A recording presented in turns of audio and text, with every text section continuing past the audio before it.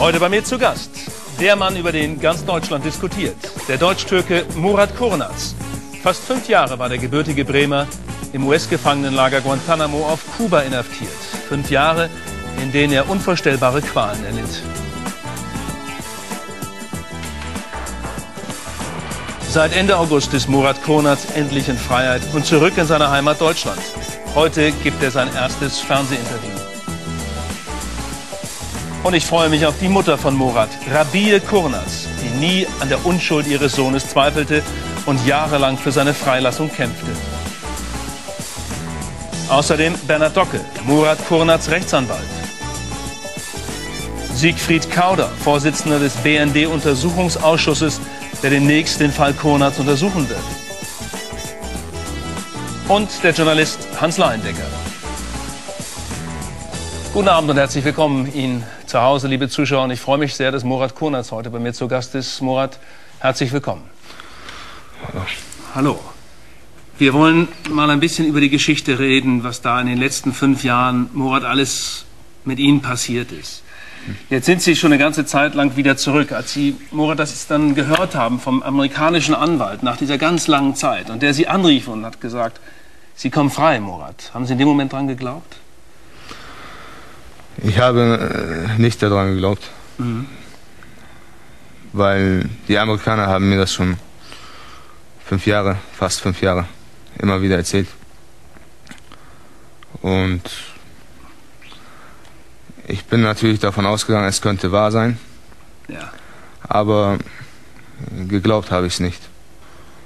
Murat, viele Zuschauer werden sich jetzt fragen, warum trägt Murat Kurnaz so einen langen, großen Bart? Es ist wegen den Sunna des Propheten. Ja, also die Glaubensgesetze des Sunna. Mhm. Ja, die Sachen, was die Propheten getan haben. Dasselbe, wir nennen es Sunna. Und Sie sagen, die Propheten haben Bärte getragen, lange Bärte? Alle Propheten haben Bärte getragen, mhm. wie Mohammed oder auch Jesus oder Moses. Alle Propheten haben Bärte getragen und gläubige Menschen, sie möchten einfach dasselbe tun, was die Propheten getan haben. Mhm. Und ein Bart tragen, das gehört halt dazu. Mord, wie ist das jetzt zu Hause? Ich habe das ja gemerkt, als ich Sie besucht habe. Wenn man in Bremen ins Taxi steigt, dann wissen die Taxifahrer, wo sie wohnen. Mhm. Man sagt, ich will zu Murat Konatz, dann fahren die dahin nach Hemelingen. Mhm. Sie sind ein bekannter Mensch in Bremen, weil viele auch teilgenommen haben an ihrer Geschichte, an ihrem Schicksal. Müssen Sie jetzt viel über Guantanamo erzählen, immer bei Freunden oder Bekannten? Fragen die viel? Das ist ganz im Gegenteil. Meine ganzen Freunde, auch meine Familie, sie möchten mich über diese Haft nicht fragen, sie möchten darüber nichts wissen. Und ich denke, dass meine Freunde mich danach nicht fragen, weil, weil sie möchten mich einfach nicht daran erinnern, mhm.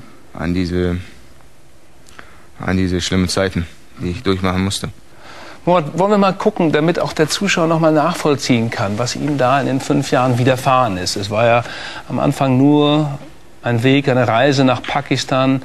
Die sollte eigentlich gar nicht so lange dauern. Hier ist nochmal die Chronologie der Geschichte von Murat Konatz. 3. Oktober 2001.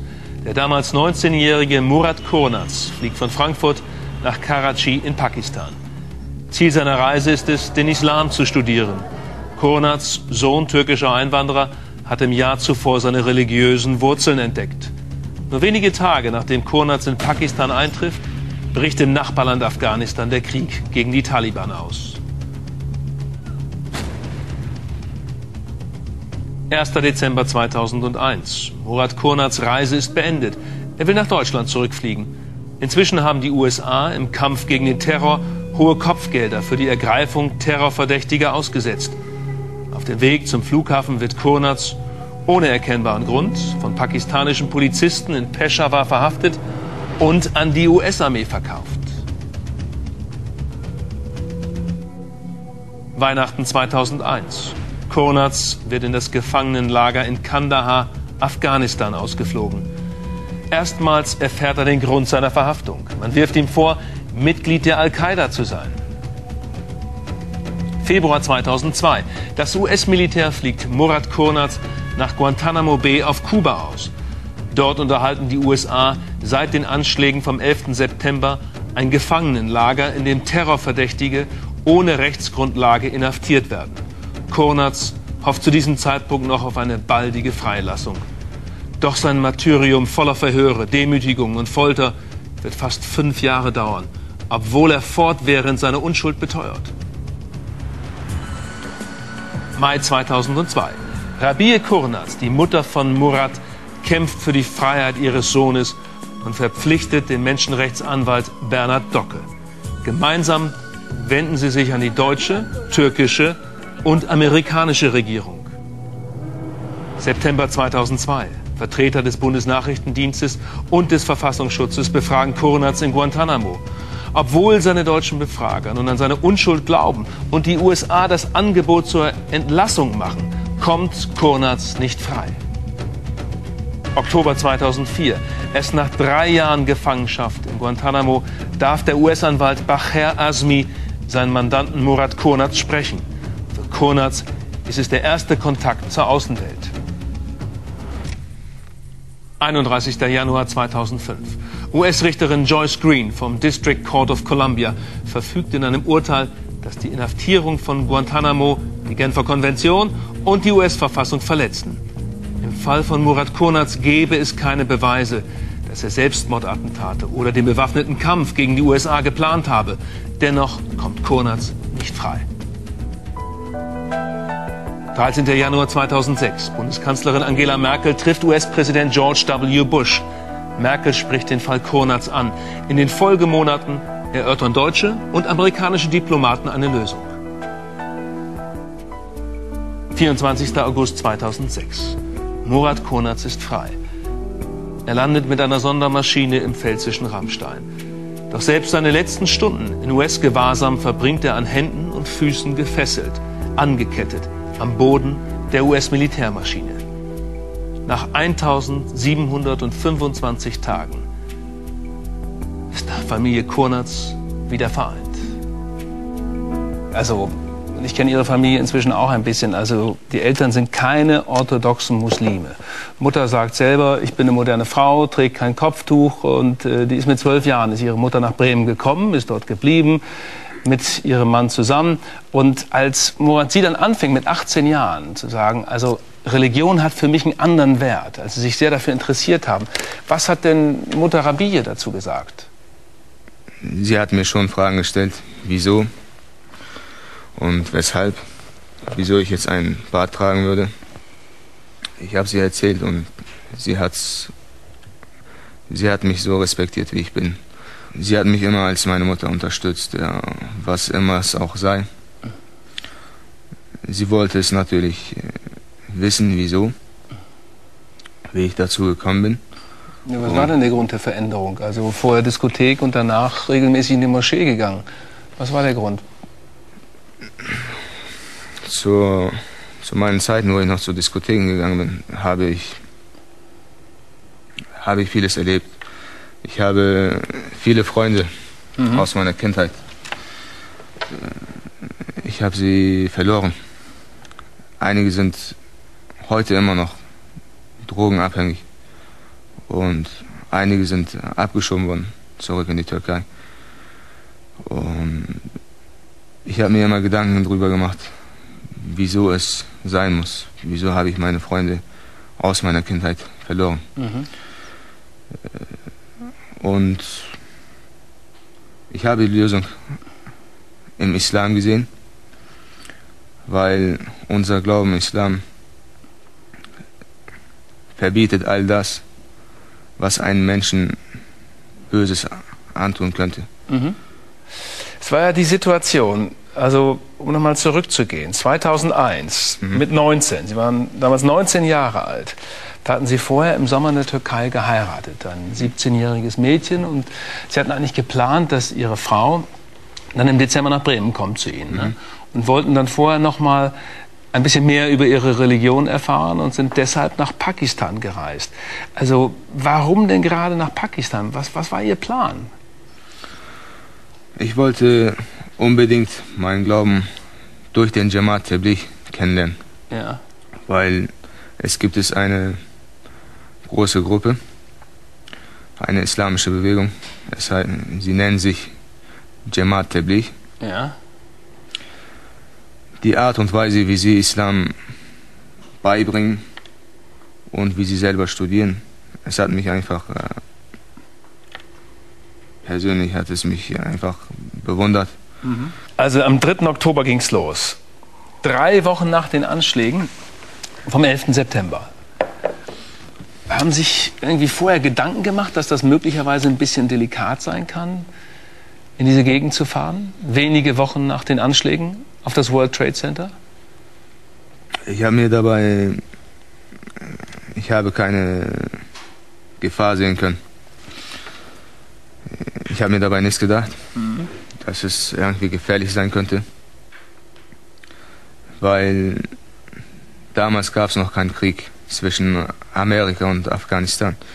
Vielleicht sollten wir den Zuschauern noch mal erklären, die Religionsgemeinschaft, diese von der wir eben gesprochen haben, diese Missionsbewegung. Viele sagen ja, viele Religionswissenschaftler, das sei eine konservative, friedliche muslimische Missionsbewegung, die Tablighi al-Yamat. Teile des BND oder auch US-Amerikaner sagen, ähm, die hätten durchaus Verbindungen zu Terrornetzwerken. Wie haben Sie denn diese Religionsgemeinschaft, diese Missionsbewegung kennengelernt oder erfahren, als Sie dort waren? Sie sind äh, sehr freundlich. Äh, Sie sind mit mir sehr freundlich umgegangen. Es sind ganz nette Menschen. Ich kann mir nicht vorstellen, dass diese Leute irgendwas mit Terroristen zu tun haben. Oder auch, dass sie irgendwelche Terroristen unterstützen würden. Das könnte ich mir nie vorstellen. Sie wollten ja schließlich nach Deutschland zurück. Ne? Das war der 1. Dezember und auf dem Weg dann zum Flughafen sind Sie gestoppt worden. Sie waren in einem Bus und dieser Bus wurde kontrolliert, angehalten. Es kam eine pakistanische Polizei zu Ihnen. Was ist da genau passiert in dem Moment, als Sie in dem Bus saßen und Sie wurden als Einziger rausgeholt? Diese Kontrollen in Pakistan, die sind äh, ganz normal. Sie tun es überall. Mhm. Die haben diesen Bus angehalten, um einfach reinzugucken. Der Polizist, er hat mich als Hellhäutiger, bin ich ihm aufgefallen. Ich habe meinen Reisepass rausgeholt, ja. habe es ihm vorgezeigt. Dann wollte er, dass ich rauskomme. Dann bin ich, raus, dann bin ich ausgestiegen aus diesem Bus. Sie haben mich in einem Polizeirevier geführt, wo sie mich später auch ausgefragt haben. Was, was haben die von Ihnen wissen wollen? Was haben die gesagt? Hatten gesagt, Sie gehören zur Al-Qaida?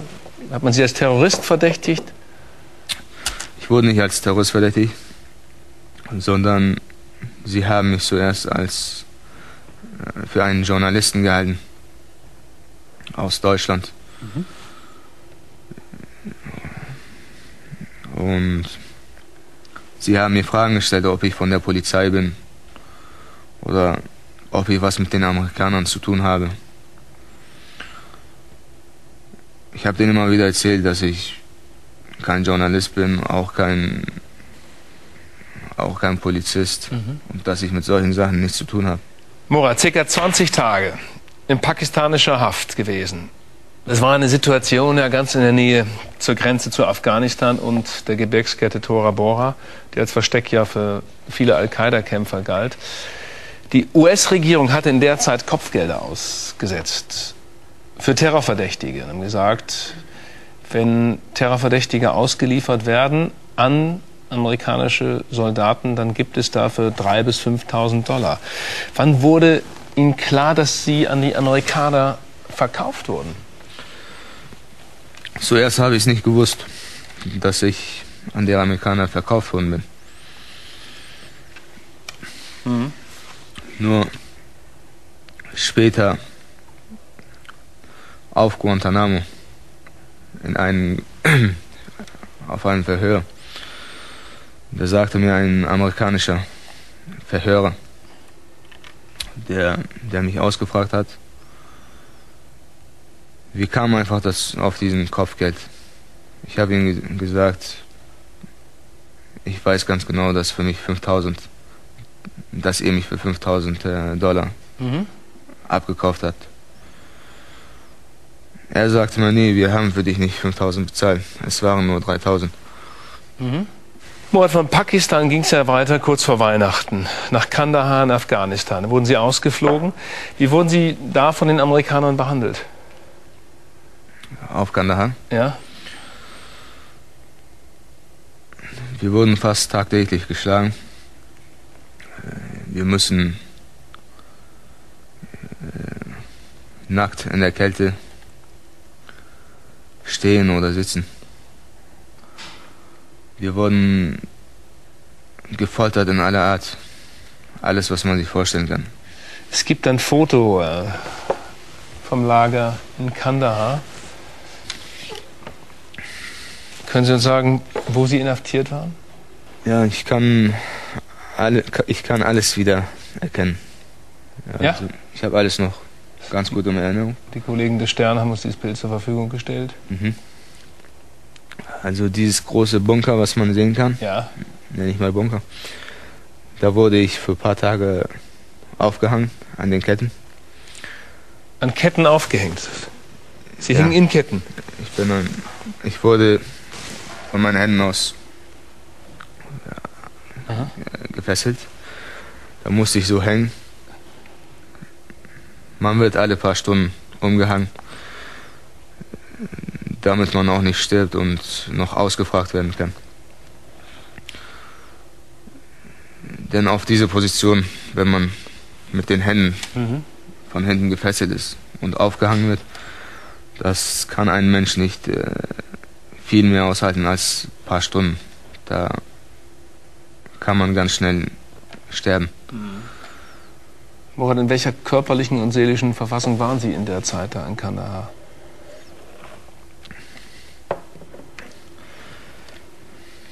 Ich bin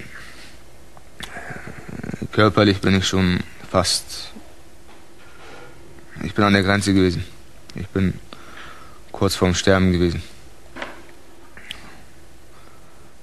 Ich habe mir damals nicht vorstellen können, dass ich das alles überleben werde.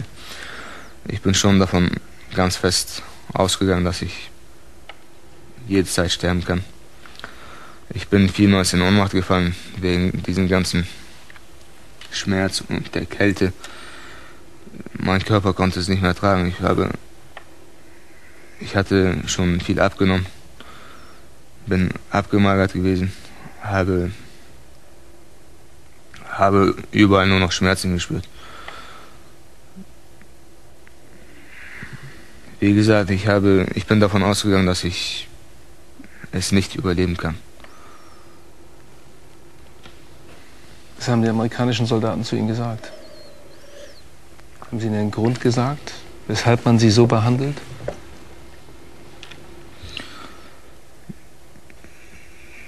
Sie haben mir gesagt, dass ich mein Visum nach Pakistan gefälscht hätte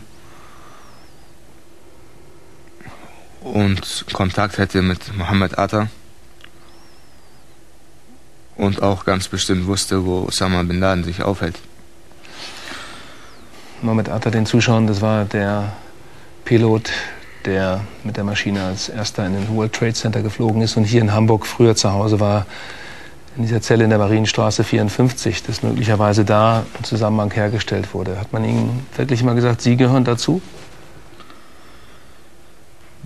Sie haben mir, die Amerikaner haben mir gesagt, dass wir zusammen in derselben Moschee gebetet haben dass wir sehr gute Freunde gewesen sein sollen. Und ich alles über ihn wusste. Auch über diese, am 11. September, diese Angriffe, dass ich davon auch schon Bescheid wusste. Haben Sie Mohamed Atta jemals vorher getroffen? Natürlich habe ich ihn nie getroffen. Ich habe diesen Mann nie gekannt. Außer aus den Medien, wie jeder andere. Ich habe ihn das erste Mal im Fernsehen gesehen, wo sie ein Bild von ihm gezeigt haben. Die Amerikaner wussten es auch. Mhm. Mord, ich weiß, es war nicht nur so, dass sie angekettet wurden, es gab auch andere Foltermethoden in Kandahar. Was hat man ihnen sonst noch alles zugefügt? Sie haben mich mit Elektroschockern. Ja. Mit Elektroschocks haben sie mich. Äh, sie haben mir Elektroschocks an die Füße gehalten. Damit ich zugeben sollte. Und sie haben meinen Kopf im Wasser, unter Wasser getaucht. Und dabei auch zugeschlagen. Das heißt, Sie haben, sind Sie in eine Wanne geschubst worden oder haben da den Kopf runtergedrückt? Ja, sie haben mir ich bin gefesselt gewesen. Ja. Ich musste stehen. Einer hat mich von meinen Haaren festgehalten und immer wieder ins Wasser getaucht. Mhm. Sie wollten, dass ich unbedingt zugebe, dass ich von Al-Qaida bin. Dass sie mich dann auch in Ruhe lassen werden. Sie haben mir gesagt, ich sollte zugeben, dass ich von Al-Qaida bin. Dass sie mich dann auch in Ruhe lassen würden. Ich habe denen erzählt, dass ich, dass ich nicht lügen werde. Ich bin nicht von Al-Qaida und ich werde sowas auch nicht sagen. Sie haben immer wieder zugeschlagen. Jedes Mal, wenn ich gesagt habe, ich bin nicht von Al-Qaida, sie haben immer wieder zugeschlagen und von neu auf gefragt, bist du von Al-Qaida? Sie haben mir vielmals Papiere mitgebracht und mich gezwungen, dass ich es unterschreiben sollte. Und wenn nicht, haben sie immer wieder zugeschlagen. Nur ich habe nie, ich habe nie gesagt, dass ich von Al-Qaida bin. Mhm. Habe auch nie sowas unterschrieben. Ihnen gedroht, sie zu erschießen? Das haben sie auch. Ich bin in der Kälte gewesen, musste konnte schon meine Hände und Füße nicht mehr spüren. Die sind schon total ausgeschwollen gewesen. Die sind angeschwollen gewesen. Und dann bedrohte mich einer von ihnen mit der Waffe. Die hielten einen ähm, Pumpkin an meinem Kopf. Er sagte mir, dass er mich erschießen würde. Ich habe gelacht. Und alle anderen Gefangenen, sie haben auch gelacht. Es war einfach. Ich bin schon fast. Ich bin schon fast äh, tot gewesen. Ich musste, falls er mich erschießen würde, wäre es für mich einfach. Wäre es für mich einfach viel einfacher. Es wäre einfach für mich. Es wäre für mich einfach fertig. Müsste ich diesen ganzen Schmerz nicht mehr fühlen. Gleich am Anfang Ihrer Gefangenschaft in Kandahar sagen Sie, Murat, hätten Sie eine Begegnung mit deutschen Soldaten gehabt. Können Sie uns erzählen, was da passiert ist? Ich musste an diesen Maschendraht äh, Zaun, ich sollte dahinter stehen. Dann kamen zwei, zwei andere Soldaten mit einem anderen Uniform ja. was sich äh, unterscheidet von den Uniformen des der Amerikaner. Amerikaner. Dann habe ich sie mir näher angeguckt. Ich habe diesen, ich habe ihre deutsche Flagge, ich habe die deutsche Flagge sehen können. Auf der Uniform. Auf der Uniform. Mhm. Und haben die Deutsch gesprochen? Sie haben mir auf Deutsch gesagt, dass ich mir die falsche Seite ausgesucht habe und auf den Boden gucken sollte. Haben Sie perfektes Deutsch gesprochen, Murat? Ja, Sie haben perfekt Deutsch gesprochen. Ich habe keine Zweifel, dass es Deutsche gewesen sind. Was haben Sie da mit Ihnen gemacht? Wo Sie mich aus, aufgerufen haben, Zero Five Tree. Ja. Das waren die Amerikaner. Sie haben auch mit dem Finger auf mich gezeigt, dass ich der German Guy bin. Sie haben mich den Deutschen vorgeführt hat. Dann durfte ich wieder zurück. Ein paar Minuten später haben sie mich nochmal aufgerufen. Ich sollte mich fertig machen äh, fürs Escort-Team. Äh, Escort-Team sind diejenigen, die uns fesseln und mitnehmen zum Verhör oder wo auch immer. Ich musste mich auf, auf meinen Bauch legen Hände auf dem Rücken. Dann kamen sie rein, haben mich gefesselt und sie haben mich hinter einen LKW gebracht, hinter einen Militär-LKW. Sie haben mich, sie haben mich auf mein Gesicht fallen lassen.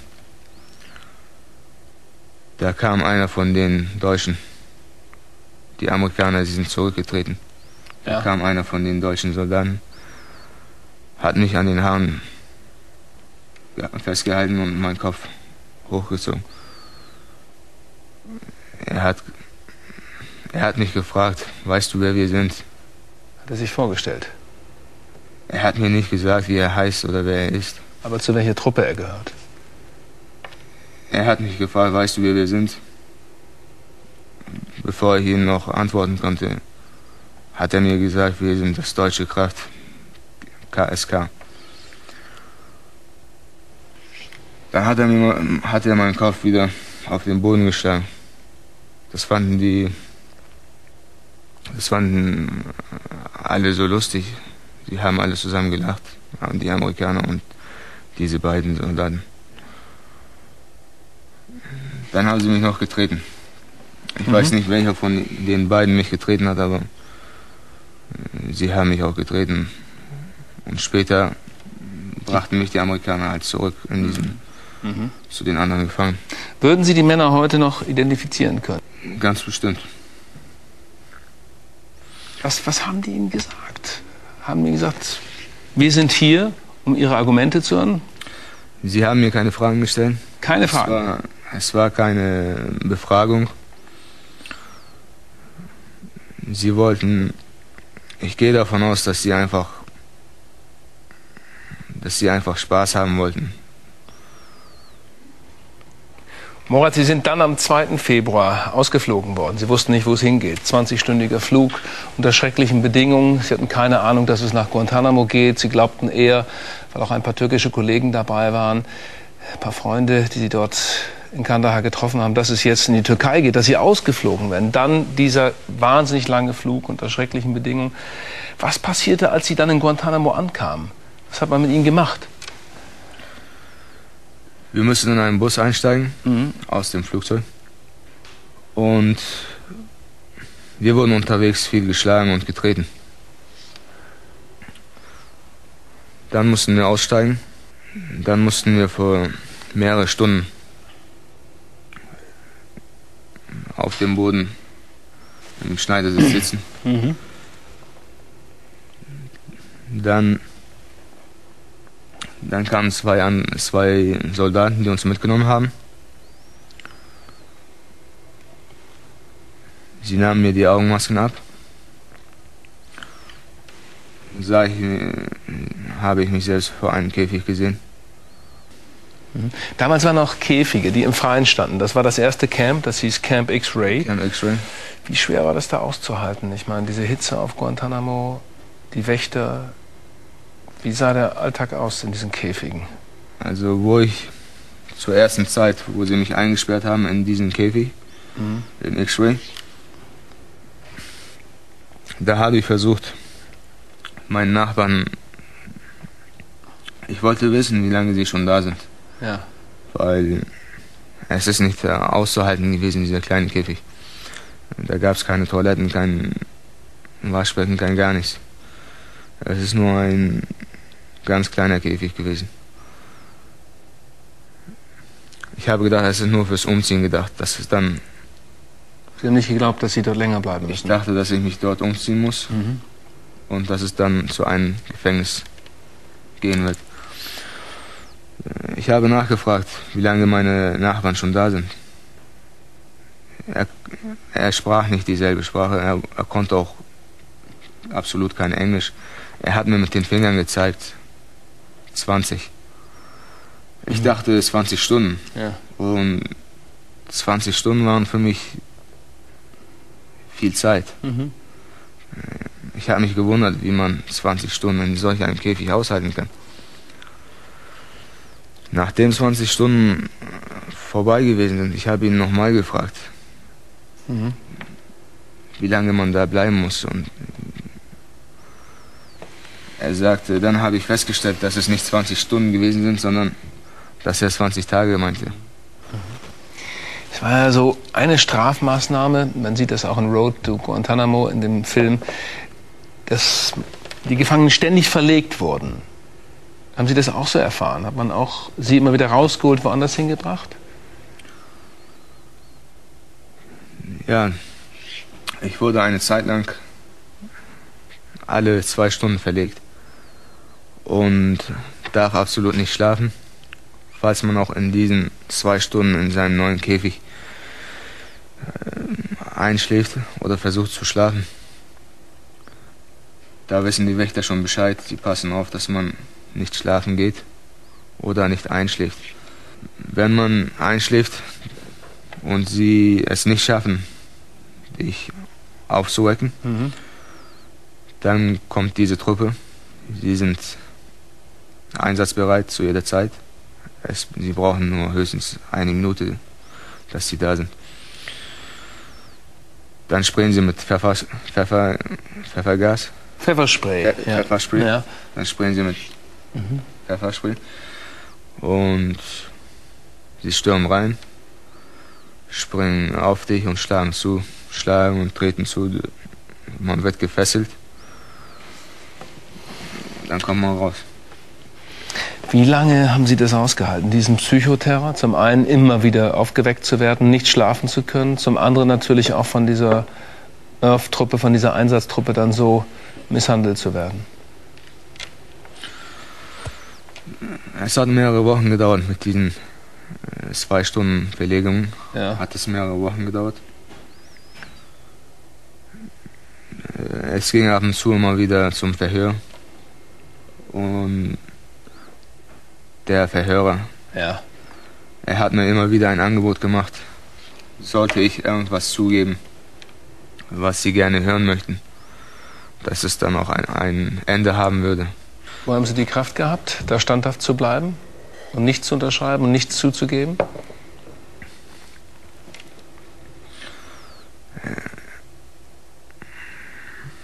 Ich habe Vertrauen an meinen Gott. Ich habe ihn immer wieder gebeten, dass er mir Geduld gibt. Und körperliche, auch geistige Kraft gibt, um sowas ausstehen zu können. Denn ich wusste ganz genau, sollte ich sowas zugeben, sollte ich sowas sagen, würde ich ganz bestimmt äh, nie wieder zurück nach Hause kommen können. Das ist mir klar gewesen. Sie hatten ja auch eine Gelegenheit, nach Hause zu schreiben, das Rote Kreuz. Da gibt es ein kleines Dokument, Murat, ein Brief nach Hause, nach Bremen-Himmelingen, auf Deutsch geschrieben an die Familie. Was mich wundert, Murat, Sie beschweren sich in diesem kleinen Brief überhaupt nicht. Das ist vom 14. Mai 2002, ist es dann zugestellt worden. Das heißt, am 1. oder 2. Februar sind Sie dort angekommen in der Zeit. Also im Mai kam dann diese kurze Notiz zu Hause bei ihrer Mutter Rabi und bei ihrem Vater Metin an. Und sie sagen noch immer, es geht mir gut und ich hoffe, dass ich aus der Untersuchungshaft rauskomme, dass bald alles vorbei ist. Bestellt allen, die ich liebe, nette Grüße, besonders meinen Brüdern und allen anderen auch. Ihr braucht euch keine Sorgen zu machen. Es geht mir gut und ich hoffe, es geht euch ebenso. Inshallah. Ganz genau, in diesem Brief habe ich nicht erwähnt, wie es mir wirklich ging, ja. weil ich durfte es auch nicht.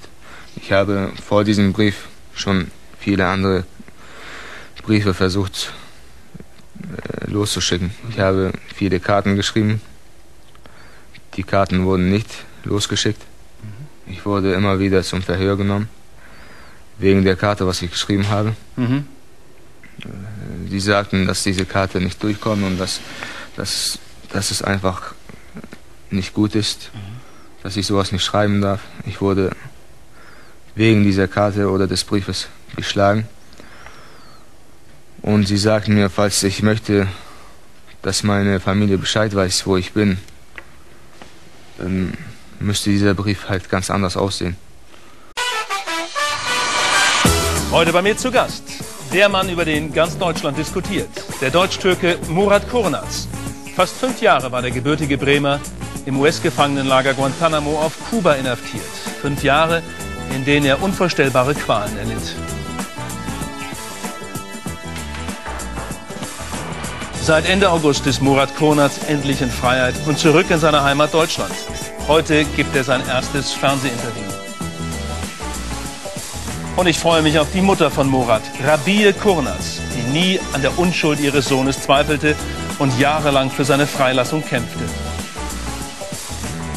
Außerdem Bernhard Docke, Murat Kurnaz Rechtsanwalt. Siegfried Kauder, Vorsitzender des BND-Untersuchungsausschusses, der demnächst den Fall Kurnaz untersuchen wird. Und der Journalist Hans Leindecker. Guten Abend und herzlich willkommen Ihnen zu Hause, liebe Zuschauer. Und ich freue mich sehr, dass Murat Kurnaz heute bei mir zu Gast ist. Murat, herzlich willkommen. Hallo. Hallo. Wir wollen mal ein bisschen über die Geschichte reden, was da in den letzten fünf Jahren, Murat, alles mit Ihnen passiert ist. Jetzt sind Sie schon eine ganze Zeit lang wieder zurück. Als Sie, Murat, das dann gehört haben vom amerikanischen Anwalt nach dieser ganz langen Zeit und der Sie anrief und hat gesagt, Sie kommen frei, Murat. Haben Sie in dem Moment dran geglaubt? Ich habe äh, nicht daran geglaubt. Mhm. Weil die Amerikaner haben mir das schon fünf Jahre, fast fünf Jahre, immer wieder erzählt. Und ich bin natürlich davon ausgegangen, es könnte wahr sein. Ja. Aber geglaubt habe ich es nicht. Murat, viele Zuschauer werden sich jetzt fragen, warum trägt Murat Konatz einen langen, großen Bart? Es ist wegen den Sunna des Propheten. Ja, also ihr Glaubensgesetze des Sunna. Mhm. Ja, die Sachen, was die Propheten getan haben. Dasselbe. Wir nennen es Sunna. Und Sie sagen, die Propheten haben Bärte getragen, lange Bärte? Alle Propheten haben Bärte getragen, mhm. wie Mohammed oder auch Jesus oder Moses. Alle Propheten haben Bärte getragen und gläubige Menschen, sie möchten einfach dasselbe tun, was die Propheten getan haben. Mhm. Und einen Bart tragen, das gehört halt dazu. Mord, wie ist das jetzt zu Hause? Ich habe das ja gemerkt, als ich Sie besucht habe. Wenn man in Bremen ins Taxi steigt, dann wissen die Taxifahrer, wo sie wohnen. Mhm. Man sagt, ich will zu Murat Konatz, dann fahren die dahin nach Hemelingen. Mhm. Sie sind ein bekannter Mensch in Bremen, weil viele auch teilgenommen haben an ihrer Geschichte, an ihrem Schicksal. Müssen Sie jetzt viel über Guantanamo erzählen, immer bei Freunden oder Bekannten? Fragen die viel? Das ist ganz im Gegenteil. Meine ganzen Freunde, auch meine Familie, sie möchten mich über diese Haft nicht fragen, sie möchten darüber nichts wissen. Und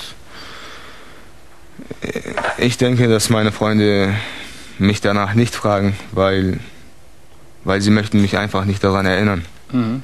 an, diese, an diese schlimmen Zeiten, die ich durchmachen musste.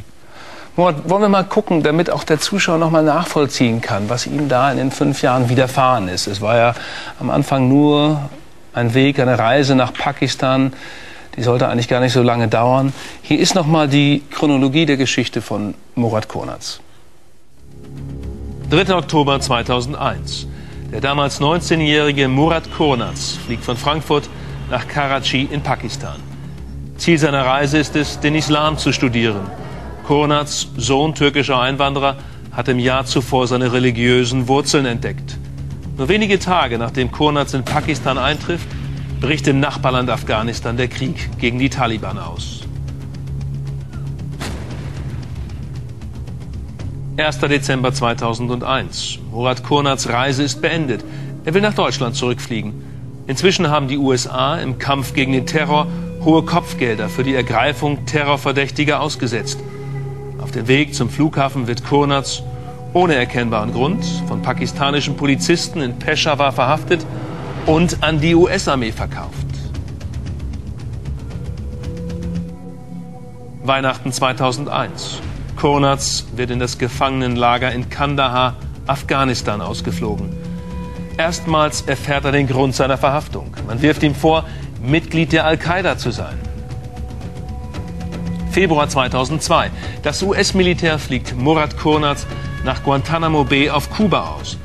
Dort unterhalten die USA seit den Anschlägen vom 11. September ein Gefangenenlager, in dem Terrorverdächtige ohne Rechtsgrundlage inhaftiert werden.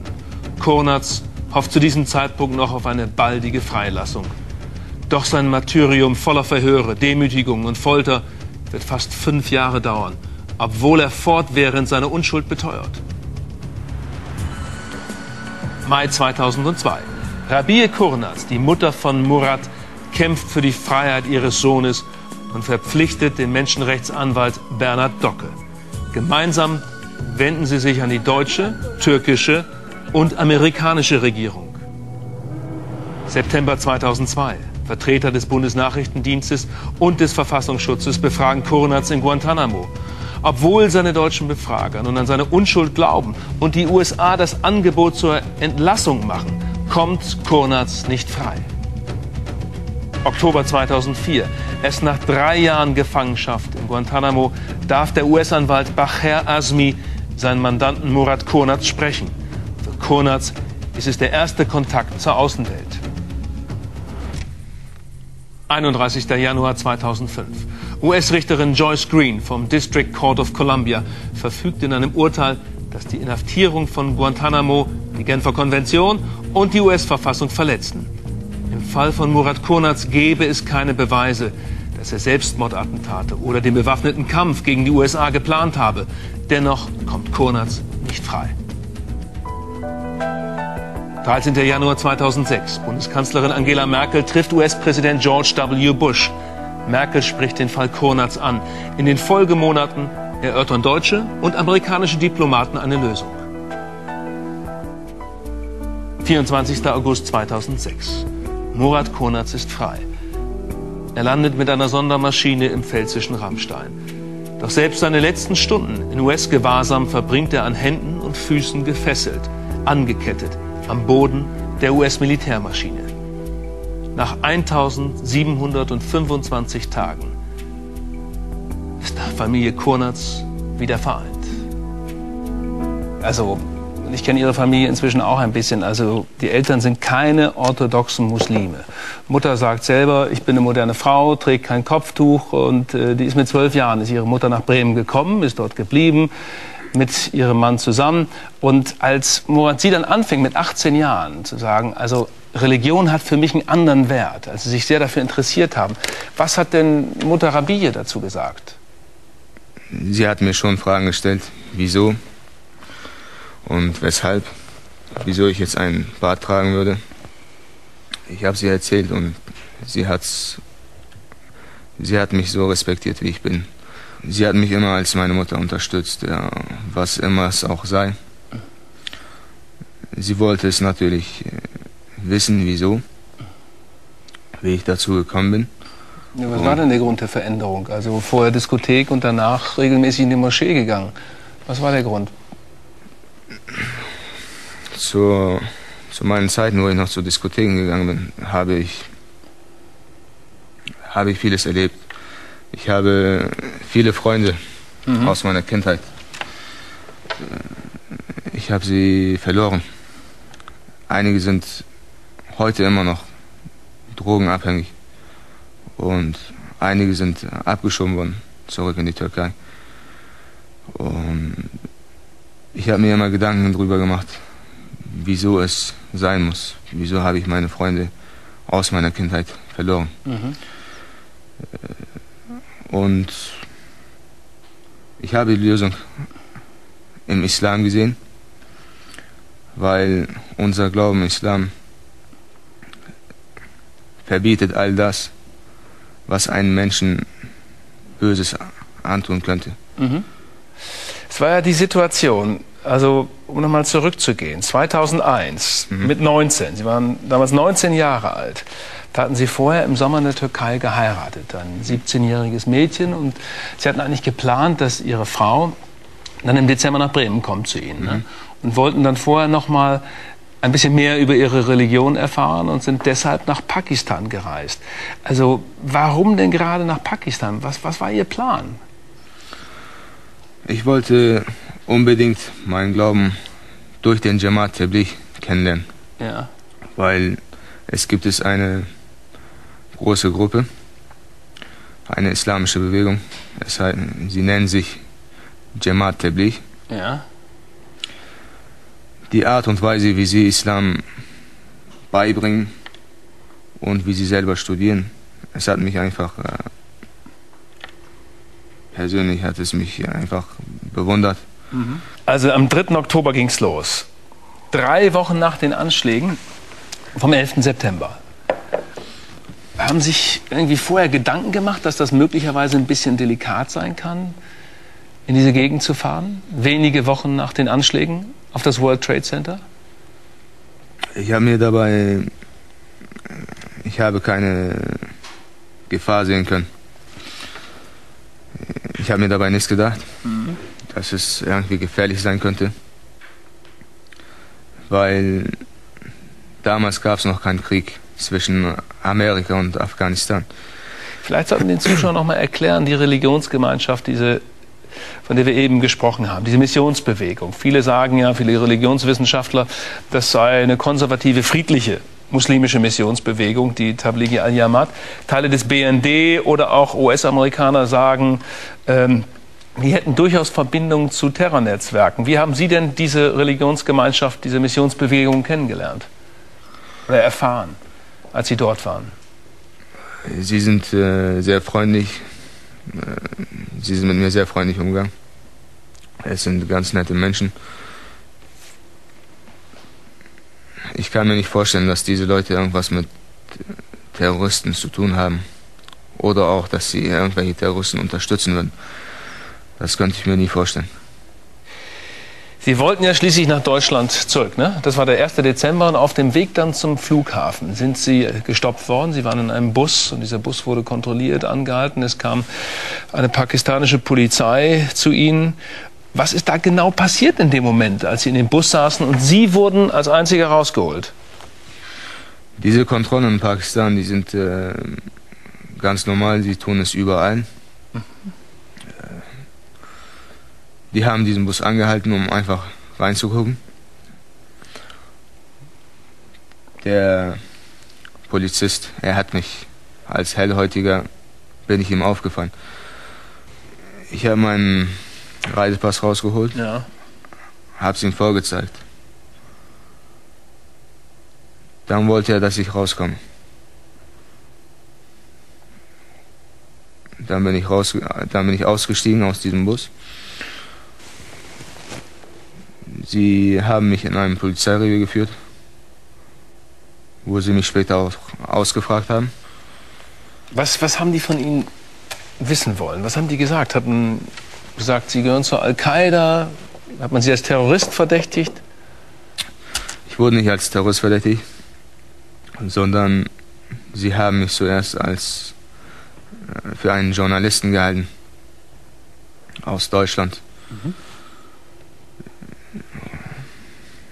Und sie haben mir Fragen gestellt, ob ich von der Polizei bin oder ob ich was mit den Amerikanern zu tun habe. Ich habe denen immer wieder erzählt, dass ich kein Journalist bin, auch kein, auch kein Polizist und dass ich mit solchen Sachen nichts zu tun habe. Murat, circa 20 Tage in pakistanischer Haft gewesen. Das war eine Situation ja ganz in der Nähe zur Grenze zu Afghanistan und der Gebirgskette Tora Bora, die als Versteck ja für viele Al-Qaida-Kämpfer galt. Die US-Regierung hatte in der Zeit Kopfgelder ausgesetzt für Terrorverdächtige. Und haben gesagt, wenn Terrorverdächtige ausgeliefert werden an amerikanische Soldaten, dann gibt es dafür 3.000 bis 5.000 Dollar. Wann wurde Ihnen klar, dass Sie an die Amerikaner verkauft wurden? Zuerst habe ich es nicht gewusst, dass ich an die Amerikaner verkauft worden bin. Nur später auf Guantanamo in einem auf einem Verhör. Da sagte mir ein amerikanischer Verhörer, der, der mich ausgefragt hat, wie kam einfach das auf diesen Kopfgeld? Ich habe ihm ge- gesagt, ich weiß ganz genau, dass für mich 5000, dass ihr mich für 5000 äh, Dollar abgekauft hat. Er sagte mir, nee, wir haben für dich nicht 5000 bezahlt. Es waren nur 3000. Mhm. Murat, von Pakistan ging es ja weiter kurz vor Weihnachten nach Kandahar in Afghanistan. Da wurden Sie ausgeflogen. Wie wurden Sie da von den Amerikanern behandelt?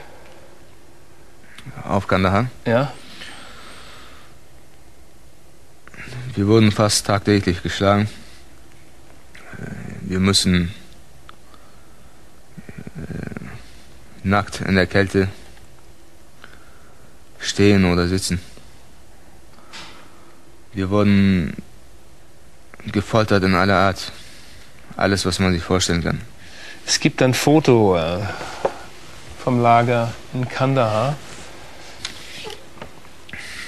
Können Sie uns sagen, wo Sie inhaftiert waren? Ja, ich kann, alle, ich kann alles wieder erkennen. Ja? Also, ich habe alles noch ganz gut in Erinnerung. Die Kollegen des Stern haben uns dieses Bild zur Verfügung gestellt. Mhm. Also dieses große Bunker, was man sehen kann. Ja. Nenne ich mal Bunker. Da wurde ich für ein paar Tage aufgehangen an den Ketten. An Ketten aufgehängt? Sie ja. hingen in Ketten? Ich bin an, ich wurde von meinen Händen aus ja, gefesselt. Da musste ich so hängen. Man wird alle paar Stunden umgehangen, damit man auch nicht stirbt und noch ausgefragt werden kann. Denn auf diese Position, wenn man mit den Händen mhm. von hinten gefesselt ist und aufgehangen wird, das kann ein Mensch nicht äh, viel mehr aushalten als ein paar Stunden. Da kann man ganz schnell sterben. Mhm. Moran, in welcher körperlichen und seelischen Verfassung waren Sie in der Zeit da in Kandahar?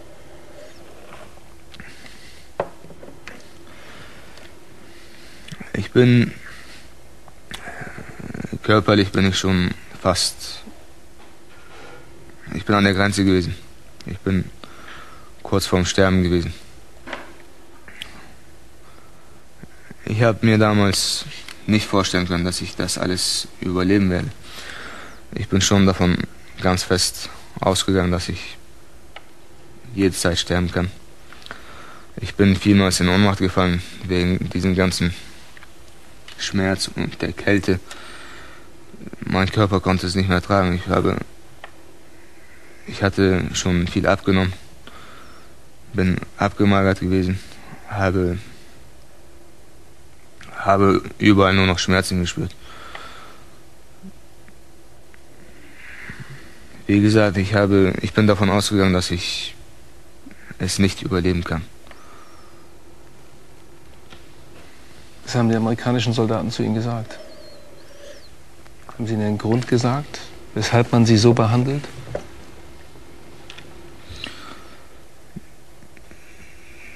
Sie haben mir gesagt, dass ich meinen Visum nach Pakistan gefälscht hätte und Kontakt hätte mit Mohammed Atta und auch ganz bestimmt wusste, wo Osama bin Laden sich aufhält. Mohammed Atta, den Zuschauern, das war der Pilot, der mit der Maschine als erster in den World Trade Center geflogen ist und hier in Hamburg früher zu Hause war, in dieser Zelle in der Marienstraße 54, das möglicherweise da im Zusammenhang hergestellt wurde. Hat man Ihnen wirklich mal gesagt, Sie gehören dazu? Sie haben mir, die Amerikaner haben mir gesagt, dass wir zusammen in derselben Moschee gebetet haben und dass wir sehr gute Freunde gewesen sein sollen. Und ich alles über ihn wusste, auch über diese am 11. September diese Angriffe, dass ich davon auch schon Bescheid wusste. Haben Sie Mohamed Atta jemals vorher getroffen? Natürlich habe ich ihn nie getroffen. Ich habe diesen Mann nie gekannt. Außer aus den Medien, wie jeder andere. Ich habe ihn das erste Mal im Fernsehen gesehen, wo sie ein Bild von ihm gezeigt haben. Die Amerikaner wussten es auch. Mhm. Ich weiß es war nicht nur so, dass sie angekettet wurden, es gab auch andere Foltermethoden in Kandahar. Was hat man ihnen sonst noch alles zugefügt? Sie haben mich mit Elektroschockern. Ja. Mit Elektroschocks haben sie mich äh, sie haben mir Elektroschocks an die Füße gehalten, damit ich zugeben sollte. Und sie haben meinen Kopf im Wasser, unter Wasser getaucht und dabei auch zugeschlagen. Das heißt, Sie haben, sind Sie in eine Wanne geschubst worden oder haben da den Kopf runtergedrückt? Ja, sie haben mein, ich bin gefesselt gewesen. Ja. Ich musste stehen. Einer hat mich von meinen Haaren festgehalten und immer wieder ins Wasser getaucht. Mhm. Sie wollten, dass ich unbedingt zugebe, dass ich von Al-Qaida bin. Dass sie mich dann auch in Ruhe lassen werden. Sie haben mir gesagt, ich sollte zugeben, dass ich von Al-Qaida bin. Dass sie mich dann auch in Ruhe lassen würden. Ich habe denen erzählt, dass ich, dass ich nicht lügen werde. Ich bin nicht von Al-Qaida und ich werde sowas auch nicht sagen. Sie haben immer wieder zugeschlagen. Jedes Mal, wenn ich gesagt habe, ich bin nicht von Al-Qaida, sie haben immer wieder zugeschlagen und von neu auf gefragt, bist du von Al-Qaida? Sie haben mir vielmals Papiere mitgebracht und mich gezwungen, dass ich es unterschreiben sollte. Und wenn nicht, haben sie immer wieder zugeschaut. Nur ich habe nie, ich habe nie gesagt, dass ich von Al-Qaida bin. Mhm. Habe auch nie sowas unterschrieben. Ihnen gedroht, Sie zu erschießen? Das haben sie auch. Ich bin in der Kälte gewesen, musste konnte schon meine Hände und Füße nicht mehr spüren. Die sind schon total ausgeschwollen gewesen. Die sind angeschwollen gewesen. Und dann bedrohte mich einer von ihnen mit der Waffe. Die hielten einen ähm, Pumpkin an meinem Kopf. Er sagte mir, dass er mich erschießen würde. Ich habe gelacht. Und alle anderen Gefangenen, sie haben auch gelacht. Es war einfach. Ich bin schon fast. Ich bin schon fast äh, tot gewesen. Ich musste, falls er mich erschießen würde, wäre es für mich einfach. Wäre es für mich einfach viel einfacher. Es wäre einfach für mich. Es wäre für mich einfach fertig müsste ich diesen ganzen Schmerz nicht mehr fühlen. Gleich am Anfang Ihrer Gefangenschaft in Kandahar sagen Sie, Murat, hätten Sie eine Begegnung mit deutschen Soldaten gehabt. Können Sie uns erzählen, was da passiert ist? Ich musste an diesen Maschendraht Zaun, ich sollte dahinter stehen. Dann kamen zwei zwei andere Soldaten mit einem anderen Uniform, ja. was sich äh, unterscheidet von den Uniformen des der Amerikaner. Amerikaner. Dann habe ich sie mir näher angeguckt. Ich habe diesen, ich habe ihre deutsche Flagge, ich habe die deutsche Flagge sehen können. Auf der Uniform. Auf der Uniform. Mhm. Und haben die Deutsch gesprochen? Sie haben mir auf Deutsch gesagt, dass ich mir die falsche Seite ausgesucht habe und auf den Boden gucken sollte. Haben Sie perfektes Deutsch gesprochen, Murat? Ja, Sie haben perfekt Deutsch gesprochen. Ich habe keine Zweifel, dass es Deutsche gewesen sind. Was haben Sie da mit Ihnen gemacht? Wo Sie mich aus, aufgerufen haben, Zero Five Tree. Ja. Das waren die Amerikaner. Sie haben auch mit dem Finger auf mich gezeigt dass ich der German Guy bin. Sie haben mich den Deutschen vorgeführt halt. Dann durfte ich wieder zurück. Ein paar Minuten später haben sie mich nochmal aufgerufen. Ich sollte mich fertig machen äh, fürs Escort-Team. Escort-Team sind diejenigen, die uns fesseln und mitnehmen zum Verhör oder wo auch immer. Ich musste mich auf auf meinen Bauch legen, Hände auf dem Rücken. Dann kamen sie rein, haben mich gefesselt und sie haben mich hinter einen LKW gebracht, mit einem Militär-LKW. Sie haben mich, sie haben mich auf mein Gesicht fallen lassen. Da kam einer von den Deutschen. Die Amerikaner, sie sind zurückgetreten. Da kam einer von den deutschen Soldaten, hat mich an den Haaren festgehalten und meinen Kopf hochgezogen. Er hat, er hat mich gefragt, weißt du, wer wir sind? Hat er sich vorgestellt? Er hat mir nicht gesagt, wie er heißt oder wer er ist. Aber zu welcher Truppe er gehört? Er hat mich gefragt, weißt du, wer wir sind? Bevor ich ihm noch antworten konnte, hat er mir gesagt, wir sind das Deutsche Kraft, KSK. Dann hat er, mir, hat er meinen Kopf wieder auf den Boden geschlagen. Das fanden die, das fanden alle so lustig. Sie haben alle zusammen gelacht, die Amerikaner und diese beiden Soldaten. Dann haben sie mich noch getreten. Ich mhm. weiß nicht, welcher von den beiden mich getreten hat, aber sie haben mich auch getreten. Und später brachten mich die Amerikaner halt zurück in diesen mhm. zu den anderen gefangen. Würden Sie die Männer heute noch identifizieren können? Ganz bestimmt. Was, was haben die Ihnen gesagt? Haben die gesagt, wir sind hier, um Ihre Argumente zu hören? Sie haben mir keine Fragen gestellt. Keine Fragen? Es war, keine Befragung. Sie wollten, ich gehe davon aus, dass sie einfach, dass sie einfach Spaß haben wollten.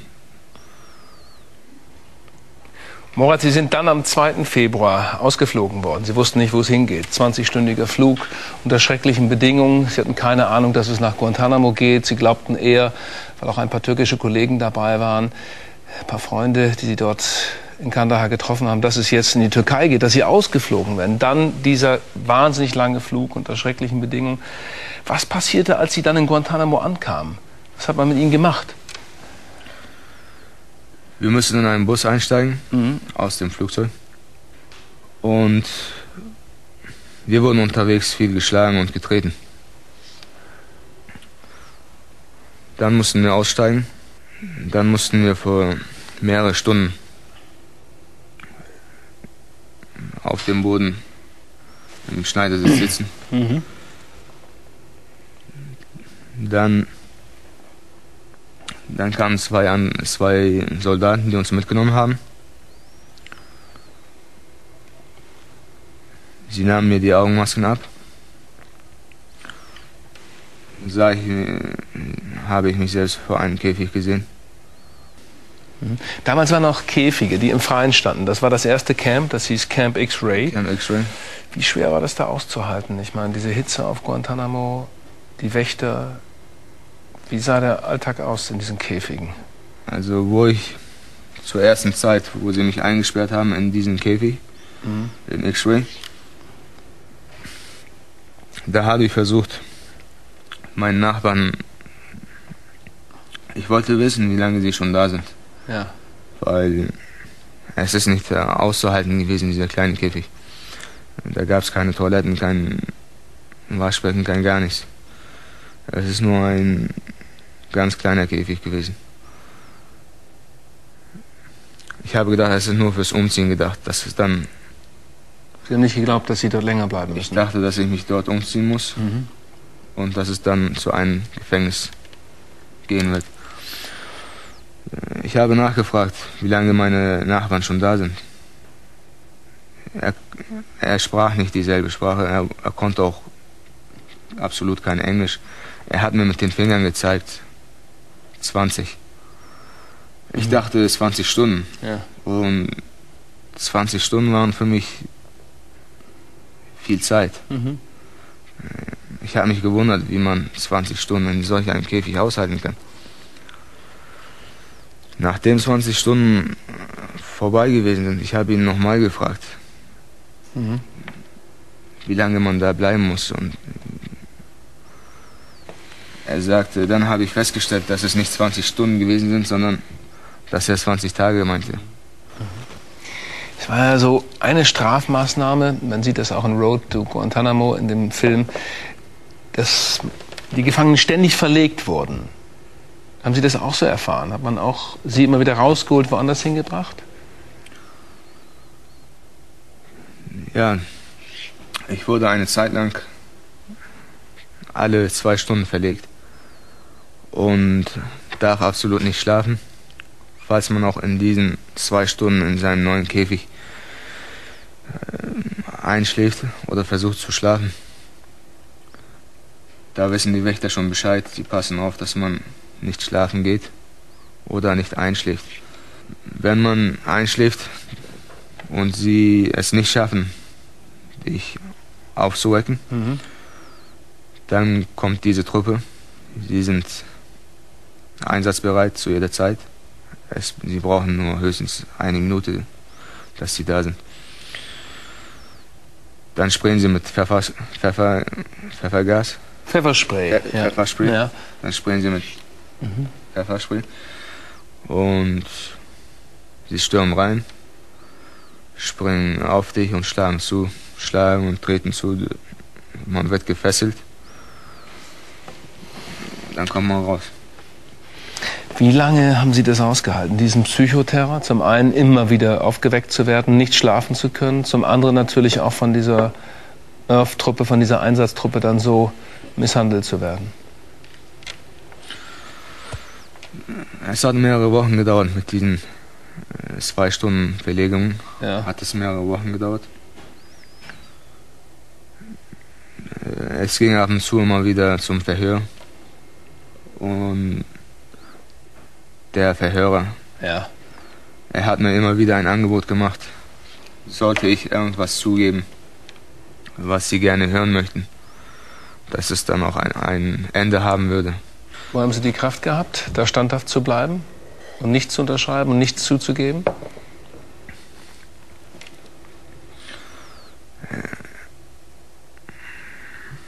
Ich habe Vertrauen an meinen Gott. Ich habe ihn immer wieder gebeten, dass er mir Geduld gibt. Und körperliche, auch geistige Kraft gibt, um sowas ausstehen zu können. Denn ich wusste ganz genau, sollte ich sowas zugeben, sollte ich sowas sagen, würde ich ganz bestimmt äh, nie wieder zurück nach Hause kommen können. Das ist mir klar gewesen. Sie hatten ja auch eine Gelegenheit, nach Hause zu schreiben, das Rote Kreuz. Da gibt es ein kleines Dokument, Murat, ein Brief nach Hause, nach Bremen-Himmelingen, auf Deutsch geschrieben an die Familie. Was mich wundert, Murat, Sie beschweren sich in diesem kleinen Brief überhaupt nicht. Das ist vom 14. Mai 2002, ist es dann zugestellt worden. Das heißt, am 1. oder 2. Februar sind Sie dort angekommen in der Zeit. Also im Mai kam dann diese kurze Notiz zu Hause bei Ihrer Mutter Rabi und bei Ihrem Vater Metin an. Und Sie sagen noch immer, es geht mir gut und ich hoffe, dass ich aus der Untersuchungshaft rauskomme, dass bald alles vorbei ist. Bestellt allen, die ich liebe, nette Grüße, besonders meinen Brüdern und allen anderen auch. Ihr braucht euch keine Sorgen zu machen. Es geht mir gut und ich hoffe, es geht euch ebenso. Inshallah. Ganz genau, in diesem Brief habe ich nicht erwähnt, wie es mir wirklich ging, ja. weil ich durfte es auch nicht. Ich habe vor diesem Brief schon viele andere Briefe versucht äh, loszuschicken. Ich habe viele Karten geschrieben. Die Karten wurden nicht losgeschickt. Ich wurde immer wieder zum Verhör genommen, wegen der Karte, was ich geschrieben habe. Mhm. Die sagten, dass diese Karte nicht durchkommt und dass, dass, dass es einfach nicht gut ist, mhm. dass ich sowas nicht schreiben darf. Ich wurde wegen dieser Karte oder des Briefes geschlagen. Und sie sagten mir, falls ich möchte, dass meine Familie Bescheid weiß, wo ich bin, dann müsste dieser Brief halt ganz anders aussehen. Sie sind auch dort in Isolationshaft geschickt worden. Wie, wie sah die Haft, die Einzelhaft auf Guantanamo aus? Es ist einfach alles isoliert. Man kann nichts hören, man kann nichts sehen. Es hat eine, es hat eine sehr starke Lüftung, was eiskalt eingestellt werden kann. Oder auch sehr heiß. Sie nennen es auch äh, äh, Kälte-Wärmeschock. Drei Monate Isolationshaft. Es waren über drei Monate. Wie hat Ihr Körper das ausgehalten? Ich bin, ich bin immer wieder kurz vorm Sterben gewesen. Sollte man mich damals gefragt haben. Mhm. Ich bin kurz vor dem Tod gewesen. Ich habe zwar noch geatmet, aber sonst bin ich fast gar nicht mehr da gewesen. Murat, es gab ja auch Protest. Es gab 2005 und 2006 Hungerstreiks in Guantanamo von vielen, vielen Häftlingen. Mhm. Haben Sie an diesen Hungerstreiks mit teilgenommen?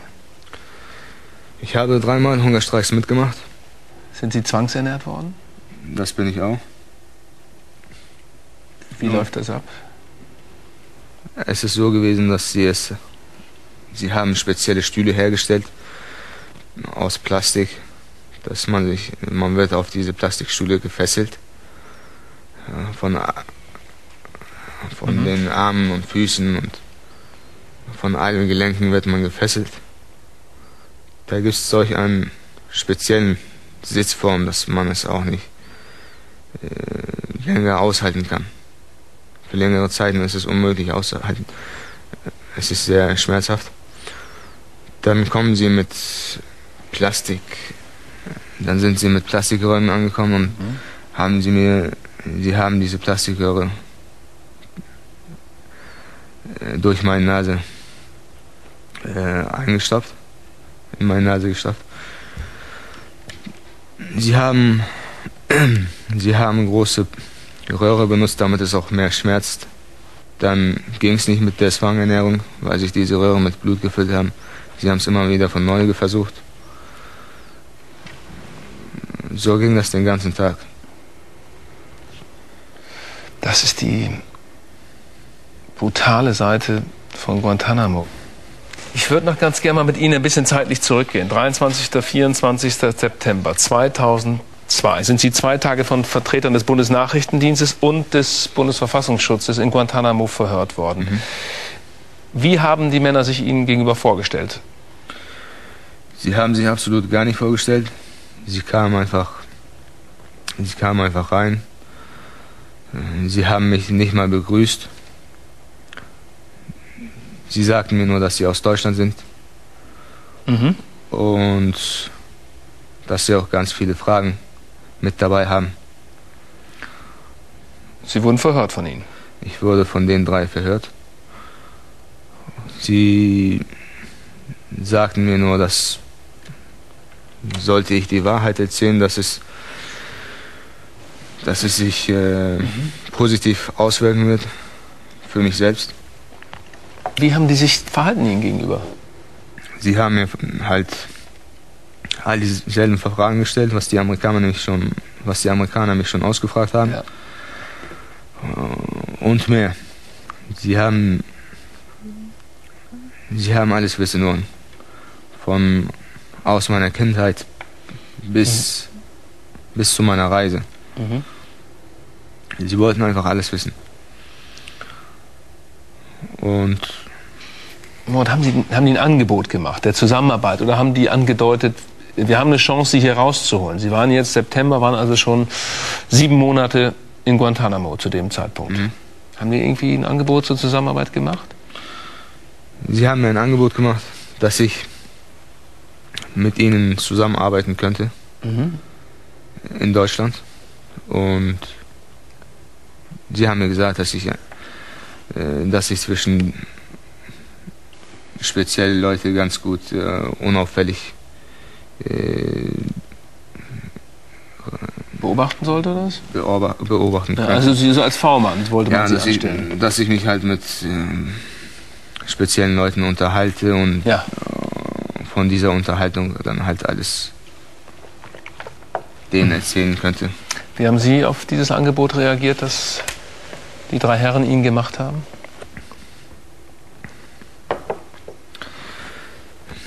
Ich würde sowas nie tun. Mhm.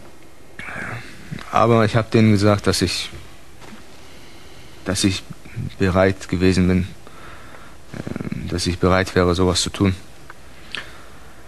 Äh, ich habe es nur gesagt, damit, die, damit ich wieder zurück nach Deutschland kann. Ja, ja. Ich würde nie mit denen zusammenarbeiten und in solche Sachen hineingehen. Das Was haben die denn zum Schluss gesagt, als sie sich verabschiedet haben? Haben die gesagt, da besteht eine Chance, dass sie jetzt rauskommen? Sie freuten sich sehr mit dieser, mit diesem Angebot, mit dieser ja. Zusammenarbeit. Das ist, sie haben gesagt, dass es eine sehr gute Entscheidung wäre und äh, dass es sich auch äh, positiv auswirken wird. Haben die irgendwas auch so vermittelt von dem Eindruck vielleicht, dass Sie sagten, ja, wir wissen, dass Sie eigentlich hier, dass Sie nichts auf dem Kerbholz haben, dass Sie nichts verbrochen haben. Haben die irgendwas dazu gesagt?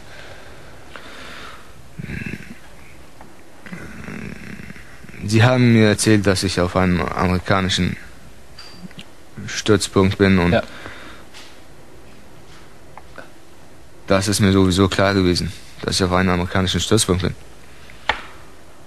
Aber sie meinten damit, dass sie halt nichts in der Hand haben, äh, was sie für mich einsetzen könnten. Aha. Das alles, sie haben gesagt, alles liegt, äh, alles ist ab de, äh, zu den Amerikanern, ob ich freikomme oder nicht. Äh, aber dass sie mir helfen könnten oder wollten, mhm. davon war nie die Rede. Mhm. Murat, wir haben später noch Gelegenheit, in größerer Runde über diese Situation zu sprechen. Warum es in 2002 nicht zu ihrer Freilassung kam, weshalb sie dann noch weitere vier Jahre in Guantanamo verbrachten oder verbringen mussten. Wurden Sie später in den Jahren danach noch einmal von einem Deutschen befragt? Ja. Er kam das zweite Mal. Es war derselbe, der mit den, der zum ersten Mal kam mit den anderen zwei. Ja. Ein Deutscher. Ein Deutscher. Sprach perfekt Deutsch. Er hat perfekt Deutsch gesprochen, sah auch wie ein Deutscher aus. Ja. Und hat, hat sich auch als ein Deutscher vorgestellt. Ja. Er kam alleine. Er kam alleine, aber ich habe seinen Ausweis nicht gesehen. Ich kann er hat sich als ein Deutscher vorgestellt. Das war so circa Morat 2004 das oder? Das ist äh, circa 2004 gewesen. Mhm. Mhm. Was wollte er? Er brachte ganz viele Fotos mit, mhm. wozu ich mich ja äußern sollte, ob ich Leute an diesen Fotos erkenne oder nicht. Mhm. Und was ich noch denke an dieser Zusammenarbeit. Haben Sie Menschen erkannt auf den Fotos? Das habe ich. Es waren zum Teil meine Arbeitskollegen. Ja. Es waren zum Teil Leute, die ich aus der Moschee kannte. Aus der Bremer Moschee? Aus der Bremer Moschee. Oder Freunde aus meiner Schulzeit. Mhm. Da waren ganz unterschiedliche Fotos mit. Was hat denn der Mann Ihnen dann erzählt? Also hat er gesagt, Mensch, jetzt ja, besteht doch noch eine Chance, dass Sie rauskommen hier oder war das überhaupt nicht Thema? Er hat mir nicht gesagt, dass es da eine Chance gibt, wieder, dass ich da irgendwie rauskommen kann. Er hat, er ist davon überzeugt gewesen, dass es mir gut geht. Mhm. Er sagte, dass ich auf einer karibischen Insel bin und mich entspannen soll. Hm. Mir war schon klar, dass er sich äh, lustig macht über mich. Das ist mir schon klar gewesen. Hat er sich Ihnen gegenüber vorgestellt? Er hat sich nicht vorgestellt. Er sagte nur, dass er aus Deutschland ist und äh, halt Fragen mit hat. Sie wissen ganz genau, es war einer von den dreien, die zwei es Jahre zuvor schon. Einer war. von den drei gewesen. Ja. Zu, zu seinem ersten Besuch, da hat er mir nur wenige Fragen gestellt. Ja. Es waren mehr die anderen zwei, die mich ausgefragt haben. Und äh, das zweite Mal, wo ich einen Besuch gehabt habe aus Deutschland, ist es nur er gewesen. Und er stellte die ganzen Fragen halt. Mord, wir können vielleicht dieses zweite Gespräch, diese neue Befragung in 2004 gleich nochmal in größerer Runde besprechen. Da gibt es sicherlich noch ähm, ganz andere Meinungen zu. Ähm, Mord, ich weiß, dass Ihre Mutter sehr, sehr glücklich war, als sie dann sie wieder sah, als sie nach Rammstein geflogen wurden und äh, sie sehen konnte, dass sie körperlich einigermaßen okay waren.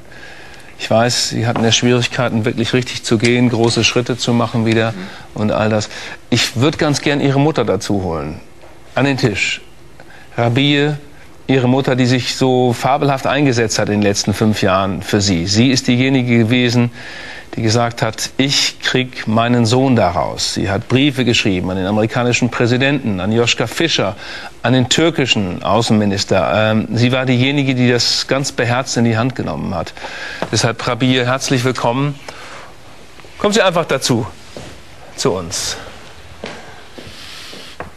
Rabir, erstmal schönen guten Abend. Schön, Schön dass Sie da sind. Freut mich sehr.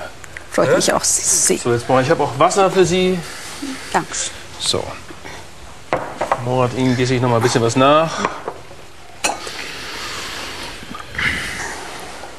Rabi, Sie haben das jetzt zum ersten Mal, glaube ich, in aller Ausführlichkeit gehört, was Ihrem Sohn da zugeführt wurde und zugemutet wurde in all den Jahren, die er nicht zu Hause war. Hat Sie das jetzt sehr schockiert? Ich muss ehrlich sein, ich wollte nicht alles mit anhören. Ja. Ich habe mich einfach unserem Zimmer gezogen, habe ich mich da ein bisschen hingelegt. Sie wollten nicht das, hören, was Moritz nee, eben gesagt nee, hat? ich möchte seine Geschichte nicht wissen. Rabbi, wie ist das jetzt? Sie haben Ihren Sohn wieder. Ja. Wie waren die ersten Stunden, die ersten Tage? Ich muss ehrlich sein, äh, als ich ihn gesehen habe, habe ich ihn nicht äh, wie früher, habe ich ihn schon im Arm geschlossen, aber ja er war ein bisschen zurückhaltend, wie ich gemerkt habe. Er war nicht ganz äh, wie früher. Ich kann ihn auch verstehen. Und er ist ja jahrelang Isolationszelle gewesen. Und äh, ja. ich, ihn, ich mache ihm keine Vorwürfe darauf. Habe ich gesagt, äh, Rabbi, du brauchst noch viel Zeit und du brauchst äh, viel Kraft noch, eben mhm. also zurückzugewinnen. Murat, wie war das für Sie, die Familie nach fünf Jahren, nach knapp fünf Jahren wiederzusehen? Also Mutter, die so toll für Sie gekämpft hat. Ich bin allein das Gefühl, wieder frei zu sein. Ja. Es ist äh, unbeschreiblich. Und dann noch äh, die Familie wieder in den Arm zu und dann noch mhm. die Familie wieder in den Arm schließen zu können. Das ist, äh, das kann man nicht mit Worten beschreiben. Das ist unmöglich. Es ist einfach es ist einfach das Beste gewesen, was mir auf dieser Welt geschehen konnte. Ja. Was ich eben so zeigte, dieser Brief vom Roten Kreuz, das war schon äh, zu Zeiten Guantanamos, also 14. Mai. War das so das erste Lebenszeichen schriftlicher Art von, von Murat? Ja, ich habe gleich, äh, hab gleich geguckt, ob das äh, seine Schrift ist. Ja. Habe ich gleich gekannt.